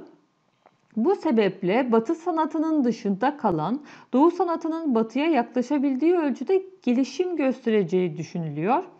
Evet, burada Doğu sanatı Batı'ya yaklaşabildiği ölçüde yani Batı'daki gelişme istikametinde. Ne kadar ona ne kadar yakınsa o kadar iyi olduğu düşünülüyor Doğu sanatının. Bu da oluyor. D'ye bakalım. Bu sebeple batıya benzemeye çalışan toplumların sanatçıları gerçek gücüne ulaşamıyor. Takipçi ve taklitçi olarak kalıyor. Evet e, doğu batıya sürekli öykünürse o takipçi ve taklitçi olarak kalacaktır. D seçeneği de doğru. Şimdi son olarak E'ye bakalım. Bu sebeple doğulu bazı sanat tarihçileri batının kökeni sayılan antik Yunan'a yönelmemiş olmayı adeta bir kusur olarak görüyor. Evet yine batının istikametinde olan antik Yunan'a yönelmemiş olmak bazı do- yanlış bir izlenimle bazı doğulu sanatçılar tarafından kusur adlediliyor. O yüzden E seçeneği de e, getirilebilir. Doğru cevabımız B seçeneği oluyor. Soru 21. Bu parçanın sonuna düşüncenin akışına göre yukarıdakilerden hangileri getirilebilir? Müzikte var olan evrensellik ve dünya müziği kavramları Batı'nın Doğu üzerindeki iktidarını pekiştirme ironisini de gizler. Batı'ya göre modernliğin geldiği son noktayı çok sesli müzik temsil eder. Çok sesli müziğin evrenselliğinin kabulü, Batı iktidarını kabul etme anlamını taşır. Evrensellik zorunlu olarak bir düzene teslim olmayı şart koşar. Oysa müzik ulusal hatta bölgesel karakterlidir ve boşluk. Burada müziğin evrenselliğinden değil ulusal hatta yerel olduğundan söz edilmiş. Şimdi boşluğa uygun öncülü bulmaya çalışalım. Bölgesel karakterlidir ve hem içinde piştiği ortamın yansıtıcısı hem de bir açıklayıcısıdır. Evet bölgeselse o toplumun kültürünü, o toplumun e, geleneklerini yansıtır. Onu açıklayabilir. O yüzden birinci öncül doğru. İkiye bakalım bölgesel karakterlidir ve böyle olmakla toplumsal tarihsel bir değer ortaya koyar. Böyle olmakla o toplumun tarihini, o toplumu yansıtır. Yine 1 ile 2 hemen hemen aynı anlamda. O yüzden ikinci öncülde olabilir. 3'e bakalım. Bölgesel karakterlidir ve müzik kelimesi batının müziğine yakın olan her kültürün diline aynen geçmiştir. Ee, bu üçüncü öncül daha çok evrensel olduğunu anlatıyor müziğin. Oysa ki bizde müziğin bölgesel karakterli olduğundan bahsediliyor burada. O yüzden üçüncü öncülümüz olmuyor. Bu durumda cevap 1-2 yani D seçeneği oluyor. 22. soru. Bu parçanın yazarına göre aşağıdakilerden hangisi Macbeth'in özelliklerinden biri değildir? 400 yıldır dünya tiyatrosunun en önemli yazarı olarak kalmayı başaran Shakespeare'in Macbeth'ini okuduğumda sanki ilk kez okumuş gibi oldum. Oysa bundan önceki okuyuşlarımdan biri sanırım geçen yıl, bir öteki çok değil birkaç ay önceydi. Bana öyle geliyor ki bunda da Shakespeare özgü bir şey var. Her edebi yapıt için hatta en büyükleri için bile olmaz bu. Eseri ikinci okuyuşunuzda kanıksadığınızı hissedersiniz. Öyleyse Shakespeare'deki bu çekicilik nereden geliyor? Sanıyorum ki öncelikle olay örgüsünün okuyucuyu bir anda içine çekip almasından. Tabii bir de az sözde çok şey anlatıp gereği olmayan bir epizot veya sözcüğü kullanmamasından ve kuşkusuz şiir, zeka, mizah ve bilgeliğe abartısız ve uzatmadan yer vermesinden. Öncelikle E seçeneğiyle başlayalım. E seçeneğinde akıcılık var. Akıcılık ses akışını bozan ifadelere, söylenmesi güç sözcüklere yer vermemek, e, gereksiz ifadelere yer verip metni sıkıcı kılmamaktır. E, burada zaten bahsedilmiş. Sanıyorum ki öncelikle olay örgüsünün okuyucuyu bir anda çekip içine almasından yani akıp gitmesinden olay örgüsünün e, şeklinde ifade edilmiş. O yüzden E seçeneği mevcut. D'ye bakalım duruluk. Duruluk da gereksiz ifadelere yer vermemek, tekrara düşmemektir. Zaten burada söz edilmiş gereği olmayan bir epizot veya sözcük kullanmıyor. O yüzden D seçeneğini de eliyoruz. C'ye bakalım. Özlülük. Az sözcükçe çok şey anlatmak. Ee, yani örneğin özdeyiş, atasözleri gibi e, ve özet niteliğinde olması bir ifadenin. Burada zaten az sözde çok şey anlatmak verilmiş. O yüzden C seçeneğini de eliyoruz. B'ye bakalım özgünlük. Ee, yani orijinal olmak, başka hiçbir yapıtı taklit etmemek, ona öykünmemek anlamlarında. Zaten burada da söylüyor. Macbeth'i ilk okuduğumda e, Macbeth'i okuduğumda sanki ilk kez okumuş gibi oldum. Bana öyle geliyor ki bunda Shakespeare'e özgü bir şey var ve her edebi yapıt için hatta en büyükleri için bile olmaz bu. Yani burada orijinal bir taraf var. O yüzden B seçeneğinde eliyoruz. Tutarlılıksa mantık kurallarına uyması, düşüncelerin birbiriyle çelişmemesi anlamında. Ee, burada herhangi tutarlılıkla ilgili herhangi bir ifade yok. O yüzden doğru cevabımız A seçeneği oluyor. 23. soru. Bu parçaya göre Muhteşem Gatsby'nin başyapıt olarak değerlendirilmesinin temel sebebi aşağıdakilerden hangisidir? Parçaya bakalım. Muhteşem Gatsby'nin Amerikan edebiyatının başyapıtı olarak değerlendirilmesinin temel nedeni baş kahraman Gatsby'nin arzu ve hayallerinin bireysellikten çok toplumsal bir ideolojik dayatmanın ürünü olduğunu gözler önüne serme becerisidir. Yazar, Amerikan rüyası miti yani para, şöhret ve iktidarı ele geçirip başarılı olan insanlar mutlu ve değerlidir söylencesinin insanların yıkıcı bir konuma nasıl getirdiğini görmemize yardımcı olur. Yazar, kültürel coğrafyanın yarattığı ruhsal çoraklığın iz düşümlerini bu ideolojinin ürünü olan Gatsby'nin yaşadığı zaman ve mekanda yeniden kurgulayarak bize roman kahramanlarının tarihsel özünü güçlü bir biçimde hatırlatır. Burada temel sebep ilk cümlede verilmiş, temel neden diye belirtilmiş. Temel neden Gatsby'nin hayallerinin, arzularının e, toplumsal bir ideolojik dayatmaya dayanması. E, o yüzden buna yakın bir ifade, toplumsal olması ile ilgili buna yakın bir ifade arayalım şıklarda. A seçeneği her Amerikalının kendi hayatını tasarladığı yönde geliştirebileceği fikrini aktarması. Burada dediğimiz gibi hayaller, e, değerler toplumsal ideolojik bir dayatmanın ürünü. Yani bunlar ne? Para, şöhret ve iktidarı ele geçirip başarılı parantez içinde ünlemle belirtilmiş olan insanlar mutlu ve değerlidir. Yani böyle bir yanılsama var. Ee, insanlar buna bunun peşinden gidiyorlar. Fakat burada kendi hayatını tasarladığı yönde gibi bir ifade yok. O yüzden A seçeneğini eliyoruz. B'ye bakalım. Amerikan rüyasını besleyen damarlardan biri olan bireyselliği incelemesi. Burada bireyselliği incelemesi yok. Bireysellikten çok toplumsal olmasından söz ediliyor arzu ve hayallerin. O yüzden B seçeneğini de eliyoruz. C'ye bakalım. Amerikan rüyası kavramının insana ait değerler sistemini etkilediğini anlatması. Evet, insana ait değerler sistemi, para, şöhret, e, iktidar bunlar bir değer, mutlu olmak, Bunlar bir değer ve bunlara ulaşan insan e, mutlu ve değerlidir gibi bir e, fikir empoze ediliyor Amerikan rüyası ile birlikte. Ve bu arzu ve hayalleri de o yönde, insanların arzu ve hayalleri de o yönde e, gerçekleşiyor. O yüzden doğru cevabımız C seçeneği fakat diğer şıklara da bakalım. Amerikan ideolojisinin zaman içerisinde nasıl çöktüğünü göstermesi aksine Amerikan ideolojisinin insanları nasıl yıkıcı bir konuma getirdiğini anlatıyor. Çökmesinden bahsetmiyor. D seçeneğini de ediyoruz. E'ye bakalım. Amerikan ideolojisinin ayakta kalabilmesi için gerekli unsurları açıklaması. Burada e, gerekli unsurlar açıklanmıyor. Dediğimiz gibi buna biraz da bir gönderme var, bir serzeniş var burada. E, Amerikan ideolojisiyle alakalı. O yüzden E seçeneğini de eliyoruz. Doğru cevabımız C seçeneği oluyor. Soru 24. Bu parçadan hareketle aşağıdakilerden hangisine ulaşılabilir? Bir cümlede rüzgarın sesini geçemeyeceksen yazma. Güneşin şenliğini, karın bozgununu, yağmurun serinini yakalayamayacaksan yazma. Seslendiğini uyandıramayacaksan hiç başlama. Kılı kırk yarsan da unutulmaya cesaretin yoksa yazma.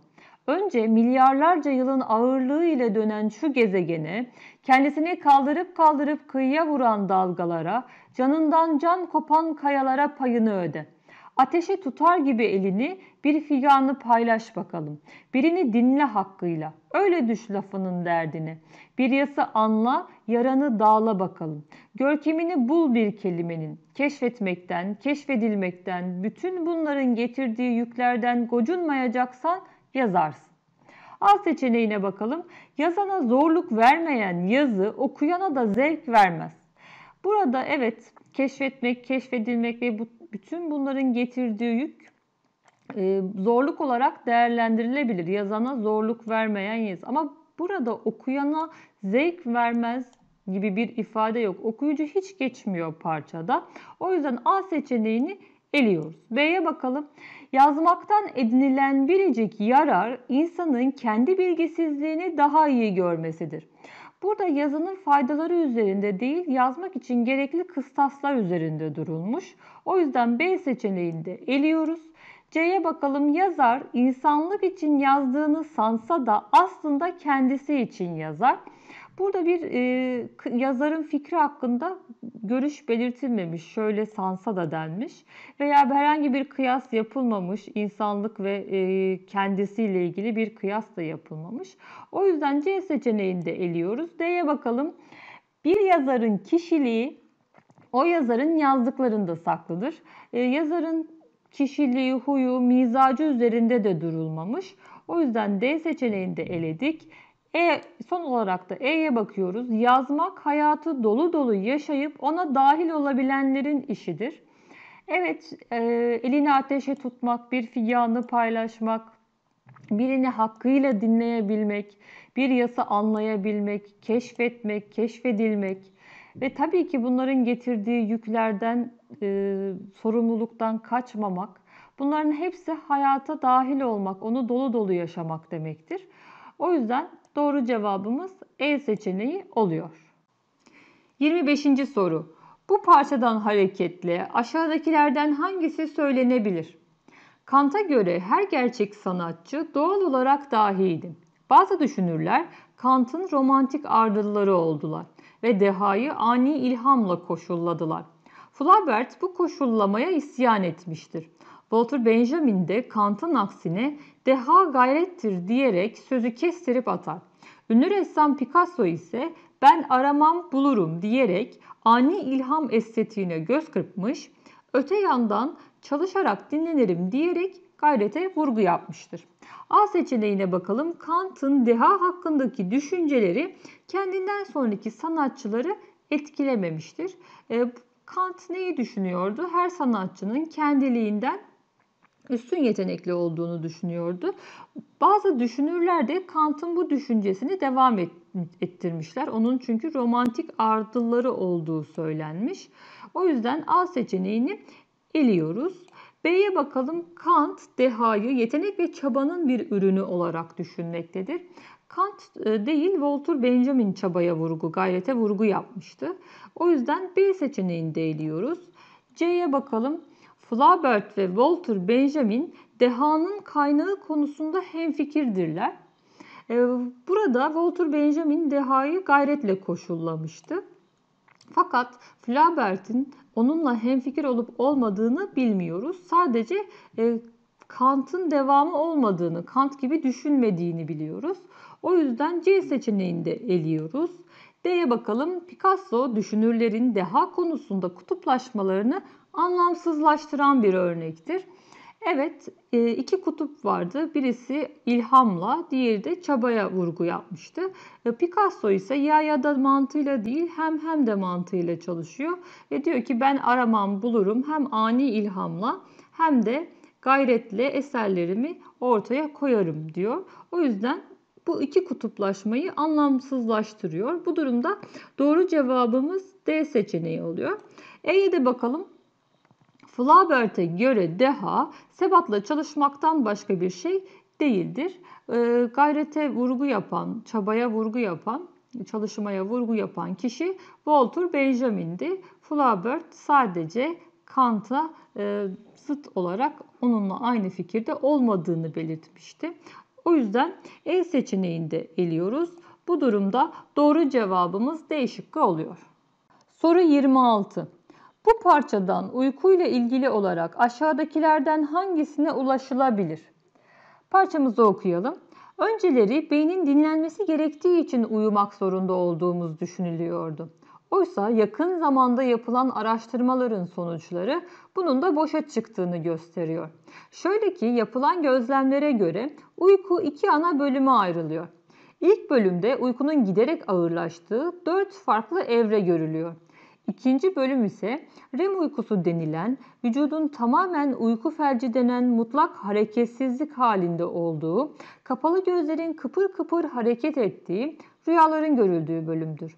Bu bölümde beyin, EEG ve MR görüntülemelerinden alınan sonuçlara göre uyanık bir insanın beyninden bile daha meşgul görünür. Yani beyin dinlensin diye uykuya yattığımızı sandığımız her gece beyin bedeni derin bir uykuya yatırıp kendisi oradan oraya koşturup durur. Bu sebeple uykuya patron olan beynin işçisi olan vücuda tanıdığı bir istirahat aralığı demek kısmen doğru sayılabilir. A seçeneğine bakalım. Uykunun başlatılması ve sürdürülmesi beynin farklı birçok bölgesinin işlevi ile gerçekleşir. Burada e, uykunun başlatılması ve sürdürülmesi ile ilgili bir ifade yok. Neden bahsedilmiş? Önceleri beynin dinlenmesi için uyuduğumuzu düşünüyorduk. Fakat yapılan yeni araştırmalara göre beyin uyanık olduğumuzdaki halinden daha çok çalışıyor uykudaki haliyle. O yüzden A seçeneğini eliyoruz. B'ye bakalım. Uyku aktif olmanın faydalı olmadığı zamanda enerji kullanımını azaltarak verimliliği artıran bir davranıştır. E, böyle, bununla ilgili bir ifade de yok. O yüzden B seçeneğini de eliyoruz. C'ye bakalım. Uyku beynin son derece aktif olduğu, bedenin genel olarak dinlendirilmesi için var olan bir süreçtir. Evet beden e, hareketsiz e, fakat beyin son derece aktif. E, burada zaten beyin bedeni derin bir uykuya yatırıp kendisi oradan oraya koşturup durur denmiş. O yüzden doğru cevabımız C seçeneği. Fakat D ve E'ye de bakalım. Beynin kendini yenilemesi ve onarması için insanın uykuya ihtiyacı vardır. Bu eski bir düşünce ama dediğimiz gibi yeni araştırmalarla bu fikir ortadan kalkıyor. O yüzden D seçeneğini de eliyoruz. E'ye bakalım. REM uykusu beynimizin gün boyunca aldığı bilgileri ayıklama ve kaydetme işini gördüğü zaman aralıklarıdır. E, burada REM uykusunda e, tamamen uyku felci oluyor diyor ve kapalı gözler kıpır kıpır e, hareket ederek rüya gördüğümüz bir bölümdür diyor. E, bilgileri ayıklama ve kaydetme gibi bir ifade yok. O yüzden E seçeneğini de eliyoruz. Bu durumda doğru cevabımız C şıkkı oluyor. Soru 27. Bu parçaya göre mimari kimliğin oluşmasında 1, 2, 3 ifadelerinden hangileri etkilidir? Parçaya bakalım. Mekanın ruhunu içinde barındıran her yer kendi mimari kimliğine ve anlamına sahiptir. Bu durumda mimari kimlik bir yere ait olan kültürel ve kentsel kimlik sistemleri, kent ve koruma planları, çevrenin coğrafi yapısı, çevreye karşı geliştirilen davranış ve tutumlar, mimarın kendi eğitimine göre bina ve yakın çevresinde oluşturduğu ayırt edici özellikler ile belirlenir. Öncelikle birinci öncülümüze bakalım. İklim, güneşlenme yönü, manzara gibi doğal çevre özellikleri. Ee, burada söylenmiş mimari kimliğin oluşmasında çevrenin coğrafi yapısı etkilidir. Yani bununla belirlenir denmiş. Ve bu durumda iklim, güneşlenme yönü gibi özellikler o e, bölgenin e, coğrafi yapısına alakalıdır. O yüzden birinci öncül doğru. İkiye bakalım yaşam biçimi ve bölgenin mimari geleneği gibi toplumsal faktörler. Ee, burada zaten belirtilmiş kültürel ve kentsel kimlik sistemleri. Yaşam biçimi bir kültür ögesidir. Mimari gelenek de öyle. O yüzden ikinci öncülde doğru. Üçe bakalım. Yerleşimin ve yapıların biçimlendirilmesinde bölge için oluşturulan imar kuralları. Ee, burada yazmış kent ve koruma planları imar düzeni sağlamak için oluşturulan imar kuralları düzeni sağlamak için ortaya çıkan kurallardır. Burada da kent ve koruma planları diyerek imar kurallarına vurgu yapılmış. O yüzden 3. öncülde doğru. Bu durumda doğru cevabımız 1, 2, 3 yani E seçeneği oluyor. 28. soru. Bu parçaya göre aşağıdakilerden hangisi bilimin insanlara sağladığı yararlardan biri değildir. Parçaya bakalım. Cahit Arf, bilim tabiatın insan beynindeki modellemesidir.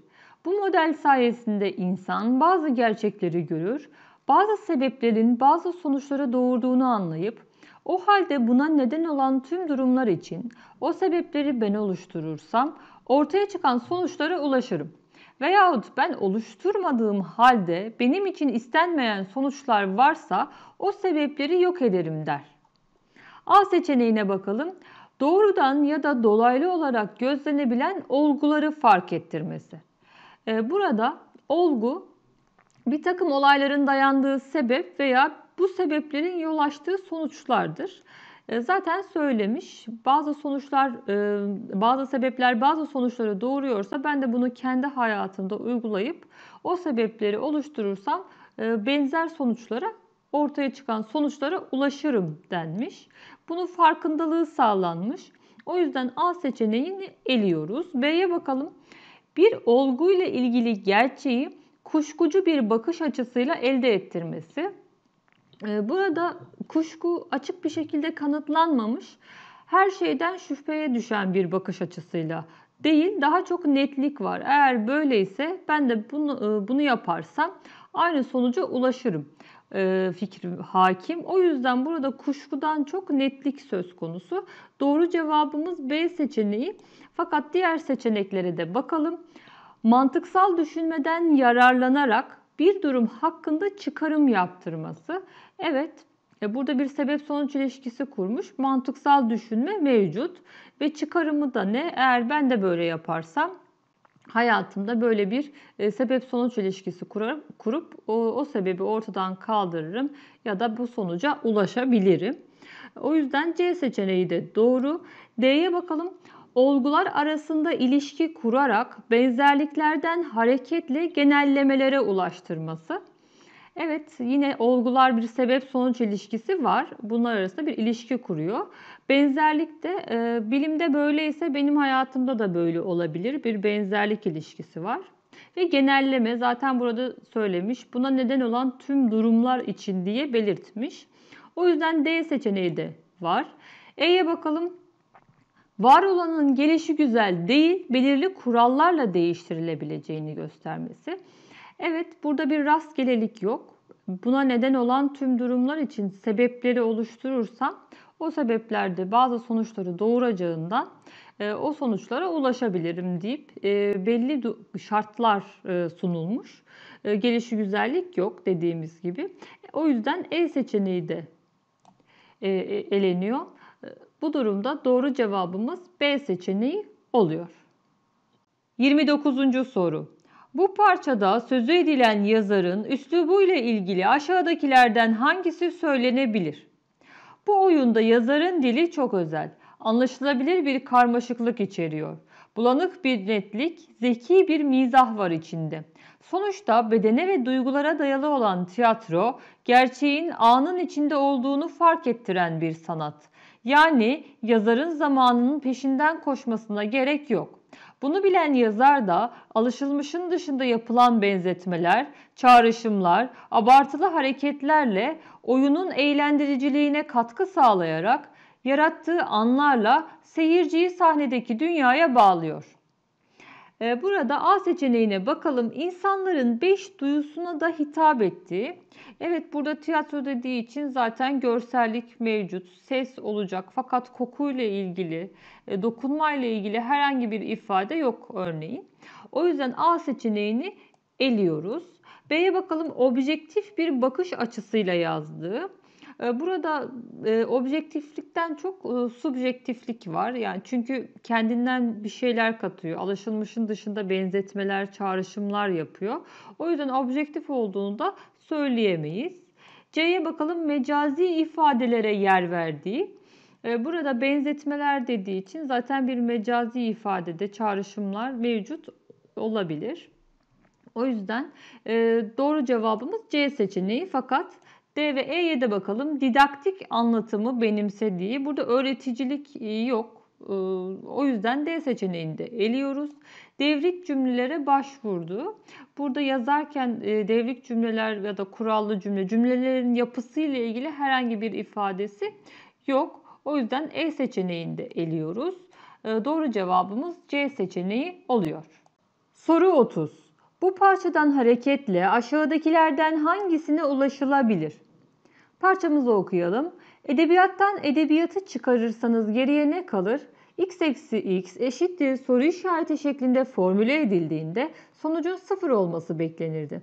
Ama edebiyat kendine özdeş değildir. Edebiyat bir x'ten katiyetle farklılığı ölçüsünde çoğul, aynı zamanda yazma ve her okuma anında biriciktir. A seçeneğine bakalım. Edebiyat niteliği gereği tüm sanatlarla ilişki içindedir. Burada diğer sanat, edebiyatın diğer sanatlarla olan bağıntısından bahsedilmemiş.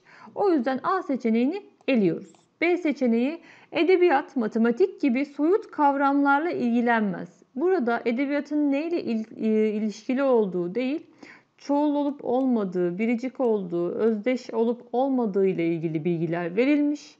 O yüzden B seçeneğini de eliyoruz.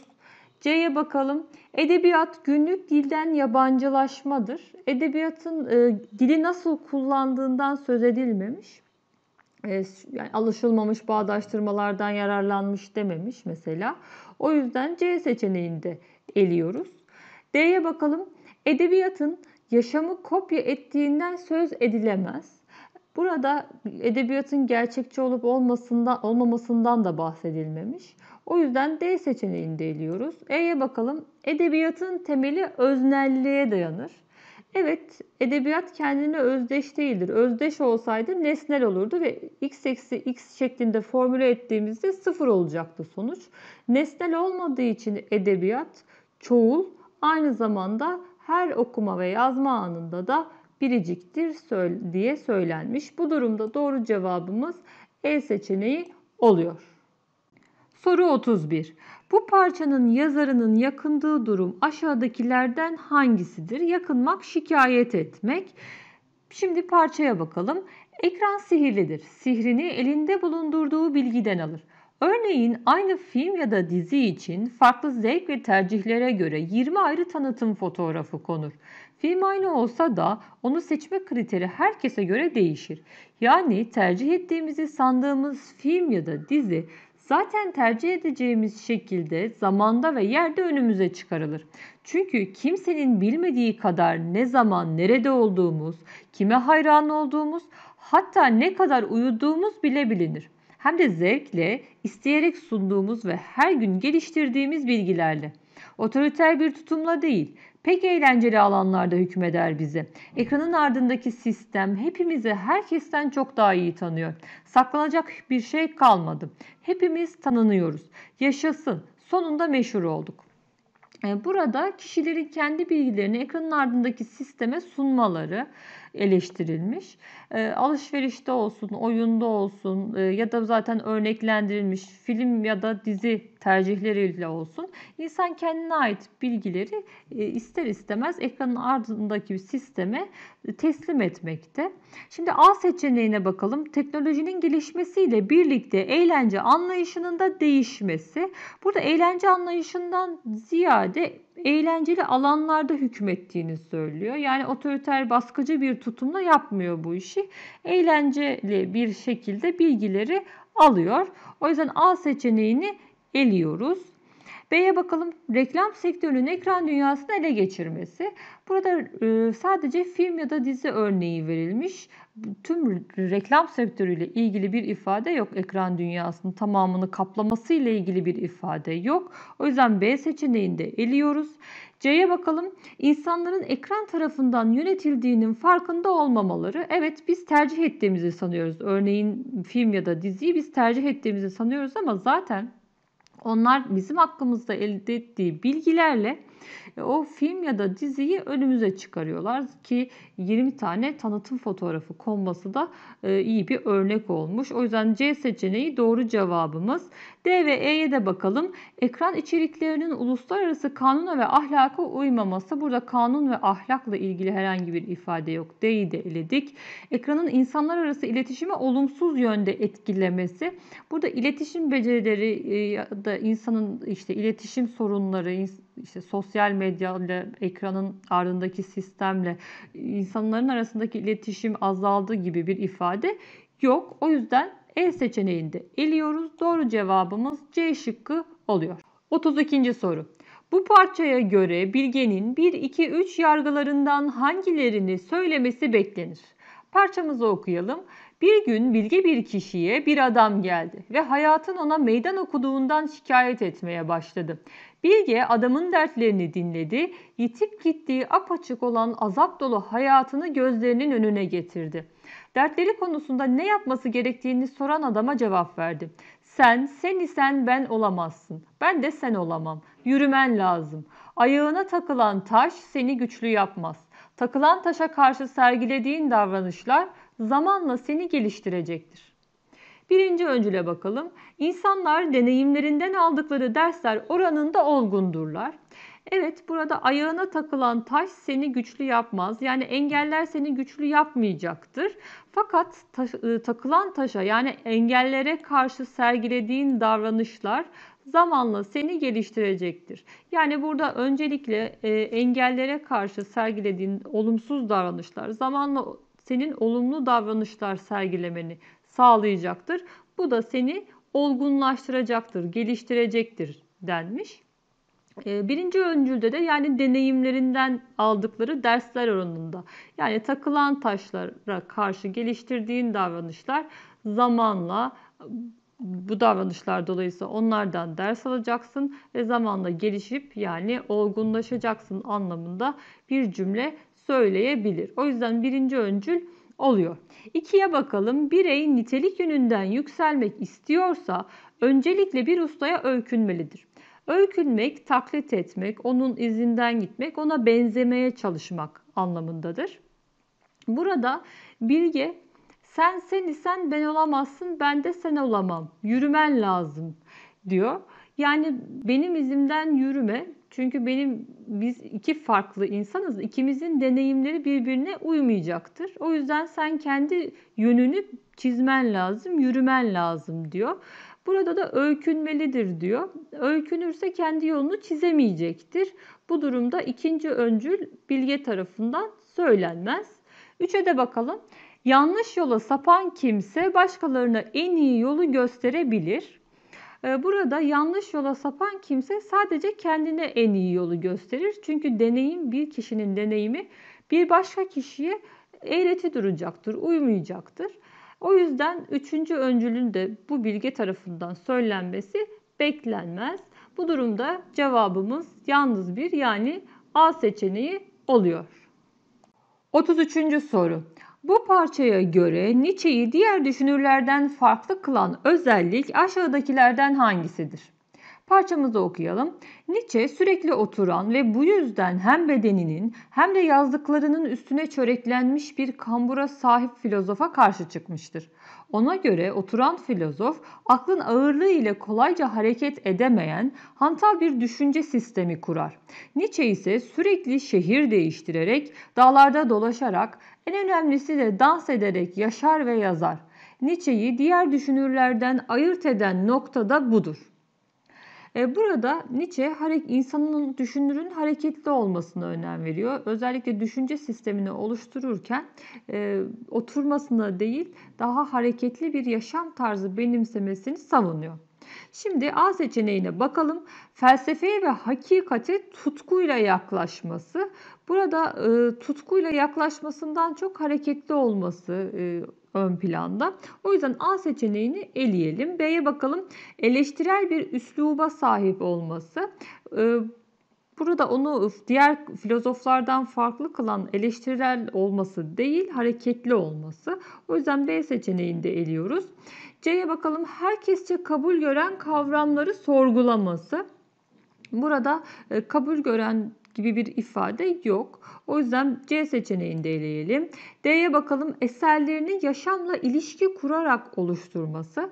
Evet sürekli şehir değişiyor, hareket halinde olması onun yaşamla ilişki kurduğunu, dağlarda dolaşması ve dans etmesi, hareket halinde olması onun yaşamla ilişki kurduğunu gösterir. E, o yüzden doğru cevabımız D seçeneği fakat diğer şıklara da bakalım. Her kesimden insana hitap etmesi. Burada her kesimden insana e, yani herhangi bir sınıf farkı vesaire bir şey söylenmemiş. O yüzden E seçeneğini de eliyoruz. Doğru cevabımız D şıkkı oluyor. Soru 34. Bu sözler aşağıdaki sorulardan hangisine karşılık olarak söylenmiş olabilir? Parçamıza bakalım. Birçok sanatçının cehaleti övdüğü söylenebilir. Onu ekin vermemiş bereketli topraktan sayarak tabii. Çünkü bir imkan olarak cehalete güvenebiliriz. Cehalet yapmayı bilmediğimiz bir şeyi kalbin karanlık odasında ışığa tutma gücünü sağlayabilir. Söz gelimi hiçbir romancı yoktur ki yazdığı ilk romanla roman yazmayı biliyor olsun. Roman yazmayı bilmiyor oluşu yazarın yaratıcı olanağıdır dersek ileri gitmiş olmayız. Çünkü birikimsiz bir dimadan, soruz üreten çocuksuluktan, sorun çıkaran ergenlikten yola çıkarak üretilen sanat en nihayetinde varlık sancısı çeken bir cahilin şahsi kavrayışına dönüşür. Günün sonunda cehalet ömrünü tamamlamış zihinsel bir artık haline gelir. E, parçada cehaletin yarar sağlayabileceği üzerinde durulmuş. Cehalet sayesinde insanın farkında olmadığı şeyleri idrak etmesi, yaratıcılığını geliştirmesi mümkün. Ardından söz gelimi diye örneklendirme yapılmış e, düşünceyi daha e, etkili kılmak adına roman üzerinden, sanat üzerinden örnek vermiş. İlk romanını yazan yazarın tabii ki o işin cahilidir. Fakat aynı zamanda bu onun kendini geliştirmesi için bir fırsattır. Ee, sanat üzerinden örneklendirme yapılarak e, düşünce kabul ettirilmeye çalışılmış. Şuraya kadar tema var. Ardından buradan paragrafın sonuna kadar da e, örnekleme mevcut. Şimdi biz daha çok bu tema üzerinde durmaya çalışalım. A seçeneği cahilliklerimizle yüzleşmek, hiçbir şey bilmiyor oluşumuzu fark etmemizi sağlar mı?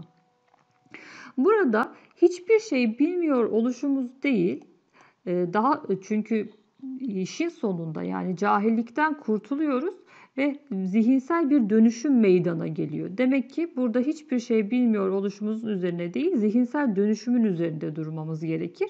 O yüzden A seçeneğini eleyelim.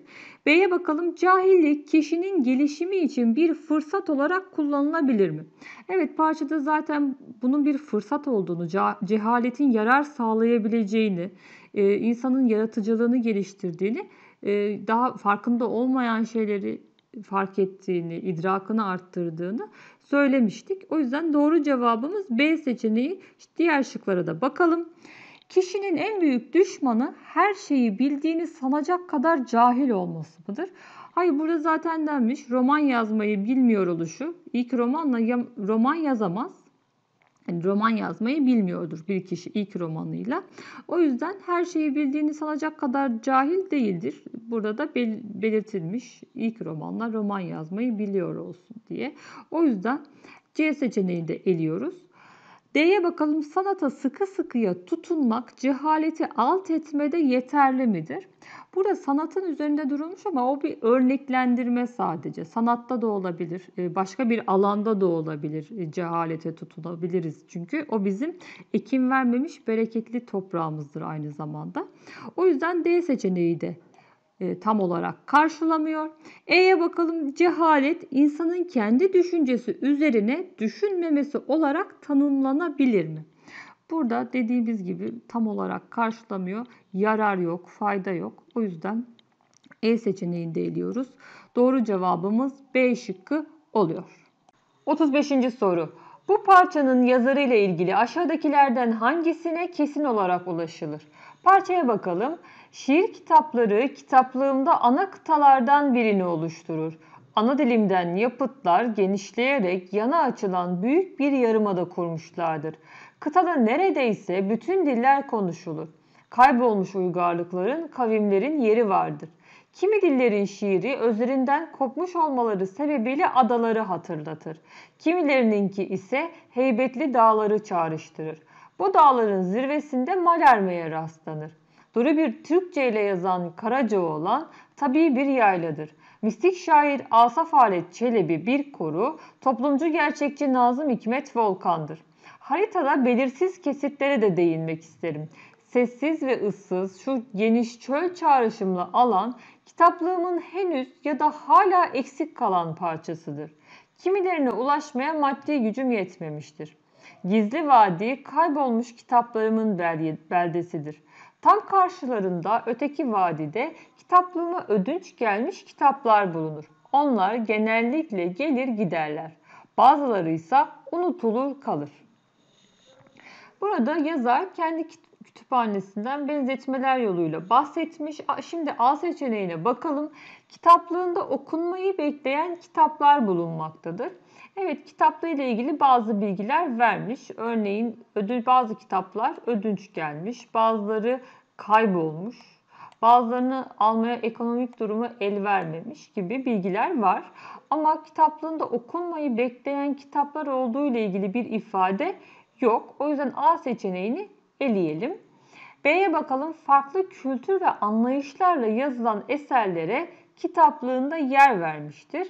Evet burada ana dilinden yapıtlar var ve neredeyse bütün diller konuşuluyor. Kaybolmuş uygarlıklar, kavimler var. Demek ki farklı kültürlerden eserler mevcut ve anlayışlar da e, Duru bir Türkçe ile yazan Karacaoğlan, mistik şair Asaf Alet Çelebi, toplumcu gerçekçi Nazım Hikmet bunlar da bir anlayıştır.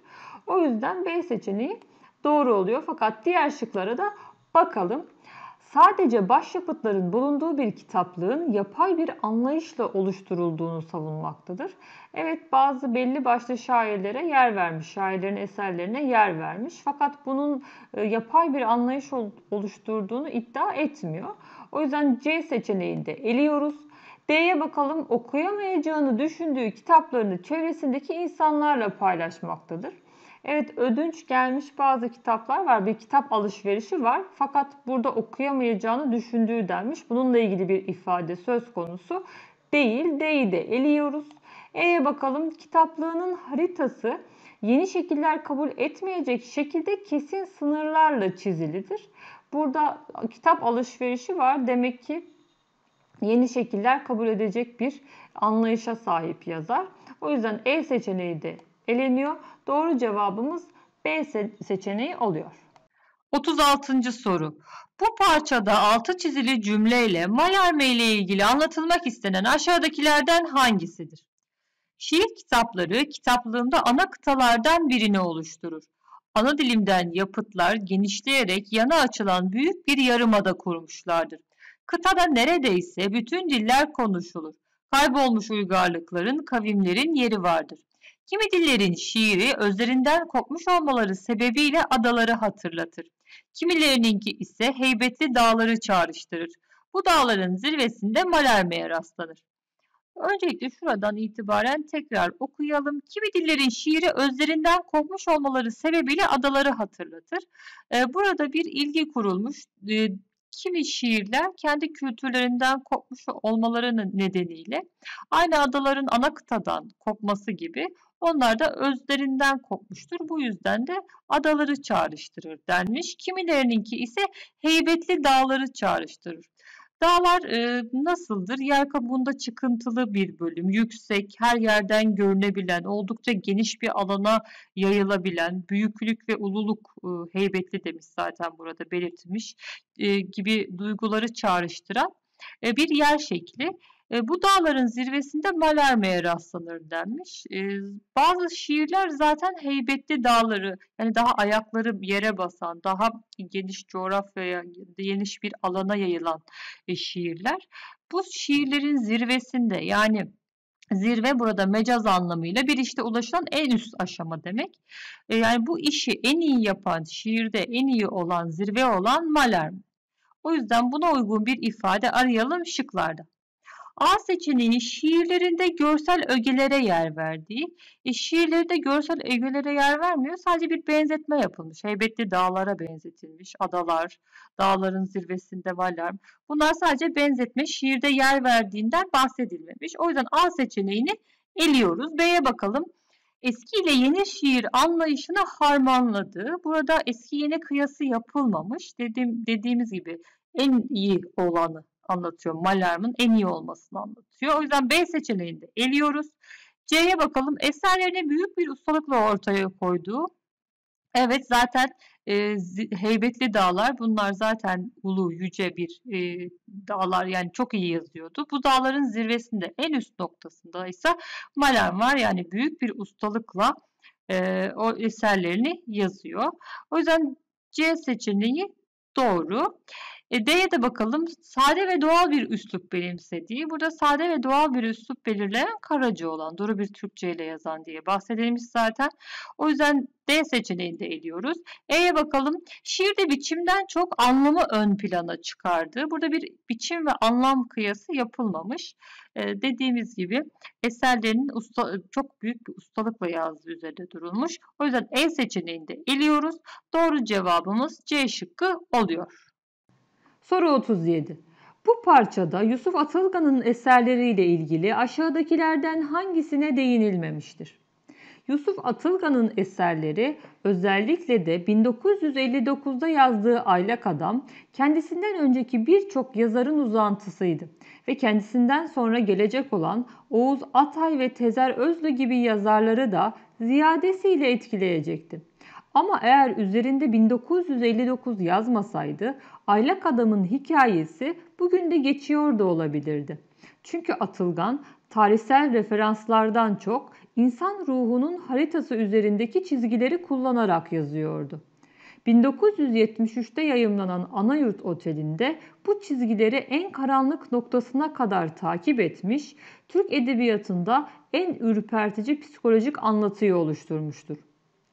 Aylak adamın kahramanı C, yeryüzüne aşina ve sürekli şehirde dolaşan bir aylak iken Anayurt Oteli'nin kahramanı Zebercet, yeryüzünden ölesiye korkan ve kendi kozasından dışarı adım attığı anda çöken bir taşra karakteridir. Aslında aynı madalyonun iki farklı yüzünü anlatan bu iki kült karakter iyilik ve kötülük hiyerarşisini sorgulayarak kötüyü tercih etmiş, Türk edebiyatının kötü çocukları listesinde yer edinmiştir. Öncelikle e, A seçeneğine bakalım. Geçmişten etkilenip geleceğe de yön verdiğine. Evet birinci cümlede söylenmiş. Kendisinden önceki yazarların birçok yazarın uzantısı olması yani geçmişten etkilenmiş olması. Geleceğe yön vermesi kendisinden sonra gelecek olan yazarları etkileyecekti. O yüzden A seçeneği e, değinilmiştir. B'ye bakalım. Özel bir ilgi gören karakterlere yer verdiğine. Evet, e, aslında aynı madalyonun iki farklı yüzünü anlatan bu iki kült karakter. Kült belli bir dönemde ilgi gören yapım anlamındadır. O yüzden B seçeneği de doğru.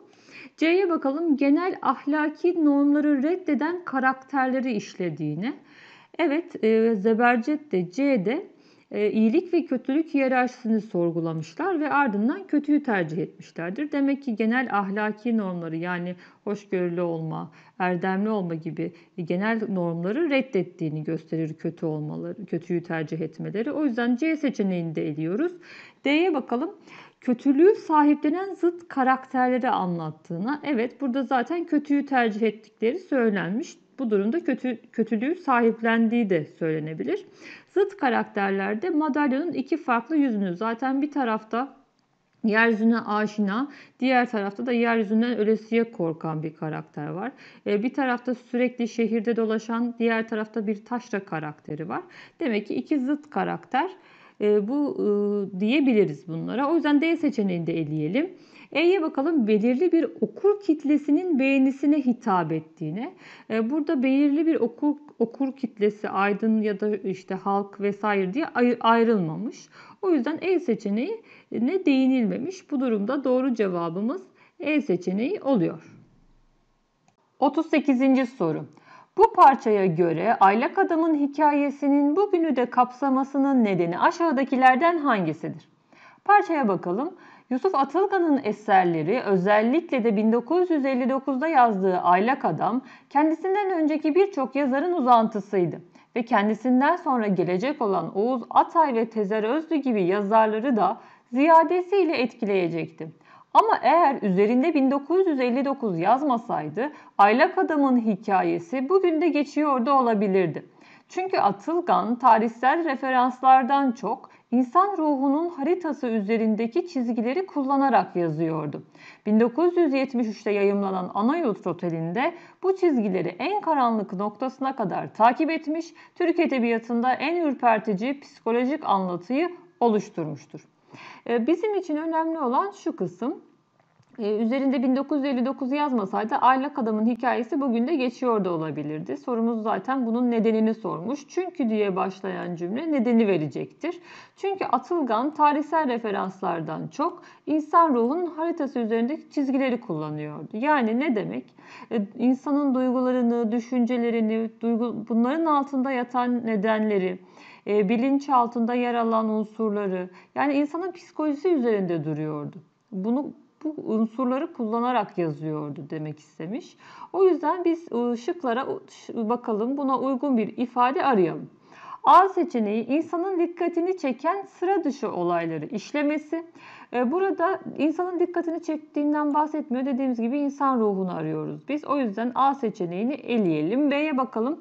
Ortak özelliklere sahip idealize edilmiş tipleri anlatması.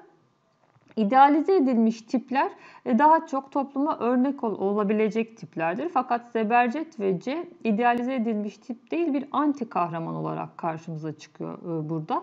E, çünkü kötüyü tercih ediyorlar. O yüzden B seçeneği de olamıyor.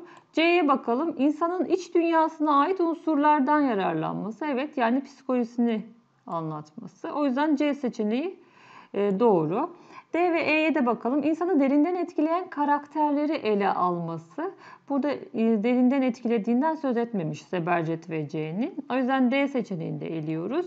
E'ye bakalım. Dünyayı onarma gayesiyle kaleme alınması. E, burada e, dünyayı değiştirme, geliştirme, dönüştürme gibi bir ifade de yok. O yüzden E seçeneğini de eliyoruz. Doğru cevabımız C şıkkı oluyor.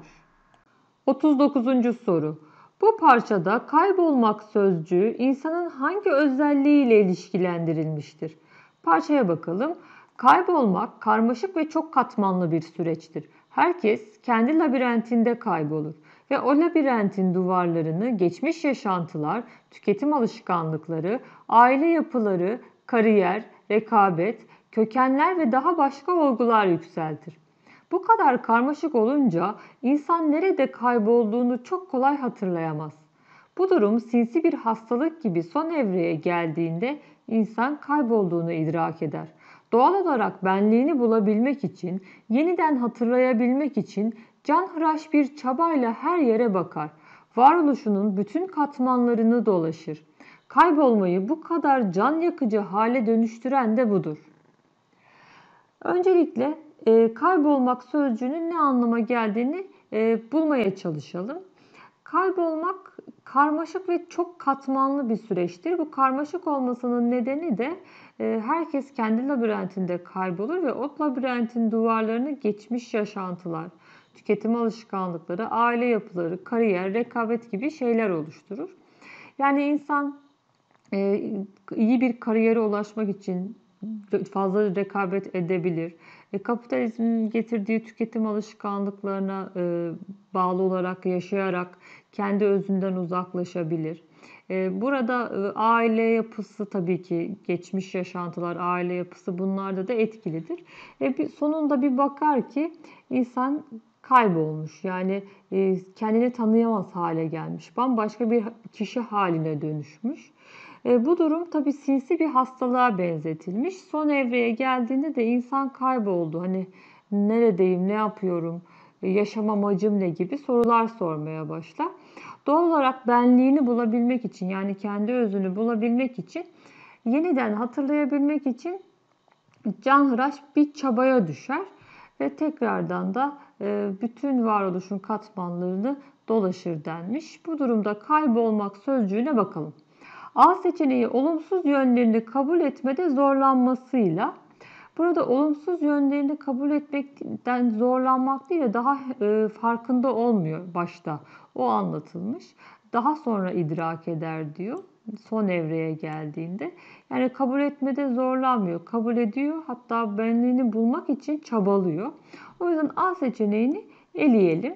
B'ye bakalım zamanın kıymetini bilememesiyle. Burada zamanın kıymetinden çok insanın kendine uzaklaşması e, anlatılmış. O yüzden B seçeneğini de eleyelim. E, C'ye bakalım öz varlığına yabancılaşmasıyla. Öz varlık benliktir. Yani benliğini bulabilmek için zaten çabalıyordu. Demek ki kaybetmiş, ona yabancılaşmış, ondan uzaklaşmış. O zaman bu durumda cevabımız C seçeneği oluyor. D'ye de bakalım acıların olgunlaştırıcı gücünü fark edememesiyle. Burada acıların olgunlaştırıcı gücü e, den ziyade dediğimiz gibi kişinin kendisiyle arasında mesafe koymasından bahsedilmiş. O yüzden D seçeneğini de eleyelim. E'ye bakalım. İnsanların uyarılarına kulak asmamasıyla burada onu uyaran bir kişi yok. Sadece kendisi idrak ediyor. O yüzden E seçeneğini de eliyoruz. Doğru cevabımız C şıkkı oluyor. Soru 40. Bu parçaya göre kaybolmanın insana acı veren yönü aşağıdakilerden hangisidir? Parçamızı okuyalım. Kaybolmak karmaşık ve çok katmanlı bir süreçtir. Herkes kendi labirentinde kaybolur ve o labirentin duvarlarını geçmiş yaşantılar, tüketim alışkanlıkları, aile yapıları, kariyer, rekabet, kökenler ve daha başka olgular yükseltir. Bu kadar karmaşık olunca insan nerede kaybolduğunu çok kolay hatırlayamaz. Bu durum sinsi bir hastalık gibi son evreye geldiğinde insan kaybolduğunu idrak eder. Doğal olarak benliğini bulabilmek için, yeniden hatırlayabilmek için canhıraş bir çabayla her yere bakar. Varoluşunun bütün katmanlarını dolaşır. Kaybolmayı bu kadar can yakıcı hale dönüştüren de budur. Şimdi bizim için önemli olan son cümle zaten burada belirtilmiş budur diye ve öncesinde de e, canhıraş bir çabayla her yere baktığını, insanın kendini yeniden hatırlayabilmek için varoluşunun bütün katmanlarını dolaştığından bahsedilmiş. E, ne demek? Canhıraş bir çabayla her yere bakar. Nerede kaybetmişti insan kendini? Tüketim alışkanlıklarında, geçmiş yaşantısında, davranışlarında, aile yapısında, kariyerinde belki işte bir kariyer elde edebilmek için birçok kişiyi kendinden vazgeçti, birçok kişiyi üzdü. E, rekabet belki e, kendini haksız bir rekabet içinde buldu gibi bu tarz şeyleri elde etmeye çalıştıkça insanın kendisine uzaklaşması. Bu durumda her yeri kontrol edecek. Aile e, aile yapısından mı, tüketim alışkanlığımdan mı böyle oldu, geçmiş yaşantımda sergilediğim davranışlardan mı böyle oldu diye e, geçmişi kontrol etmesi gerekiyor. Yani her yere bakması. Bu durumda da geçmişi kontrol ederken yaşamının her anını gözden geçirecek. Yani gençliği, çocukluğu, e, belki yetişkinliği her anını kontrol etmesi gerekiyor. Her davranışının nedenini sorgulayacak. Yani bütün yaşamını tekrar bir kontrolden geçirecek. Şimdi buna uygun bir cevap arayalım şıklarda. A. Kendi kuyusundan çıkmaya çabalayan insanı yaşamdan koparması. Evet, kaybolmayı bir kuyu olarak düşünebiliriz. Çaba da var zaten burada da belirtilmiş. Ama yaşamdan koparması yok. Yaşamdan koparsaydı insan e, bu kişi hiçbir şey için çaba göstermezdi. Daha depresif bir halde olurdu. Ama e, burada bir çaba var, can hıraş bir çaba var. Yani elinden gelenin ardına koymuyor. E, yani her şeyi yapabiliyor. Kendini tekrar bulabilmek için, tekrar kazanabilmek için. O yüzden A seçeneğini eliyoruz. B'ye bakalım. İnsana yaşamında geriye dönük sorgulamalar yaptırması. Evet zaten söylemiştik. Geriye dönüyor. Tekrardan aile yapısına, geçmiş yaşamında yaptığı şeylere, e, neler yaptığı yanlışları, doğruları önüne koyacak. O yüzden B seçeneği bizim doğru cevabımız oluyor. C'ye bakalım. Gerçeği araştıran bireyi kendi içinde yalnızlığa sürüklemesi. Burada yalnız kalmasından, insanların onu terk etmesinden veya e, insanların içinde yalnız olmasından bahsedilmiyor. O yüzden C seçeneğini eleyelim. D ve E'ye de bakalım. İnsanı kendi iradesini reddederek yaşamaya zorlaması. Aksine e, kaybolduktan sonra zaten insanın kendi iradesini eline alabiliyor. O yüzden D seçeneğini de eliyoruz. E'ye bakalım. Geleceğini inşa etmeye çalışan insanın cesaretini kırması. E, burada cesaret kırma olsaydı insan şöyle derdi. Bu saatten sonra benden bir şey olmaz e, artık e, bitti, her şey tükendi gibi daha böyle hareketsiz kalırdı. Ama burada bir çaba söz konusu. Bu sebeple E seçeneği de olmuyor. Doğru cevabımız B şıkkı oluyor.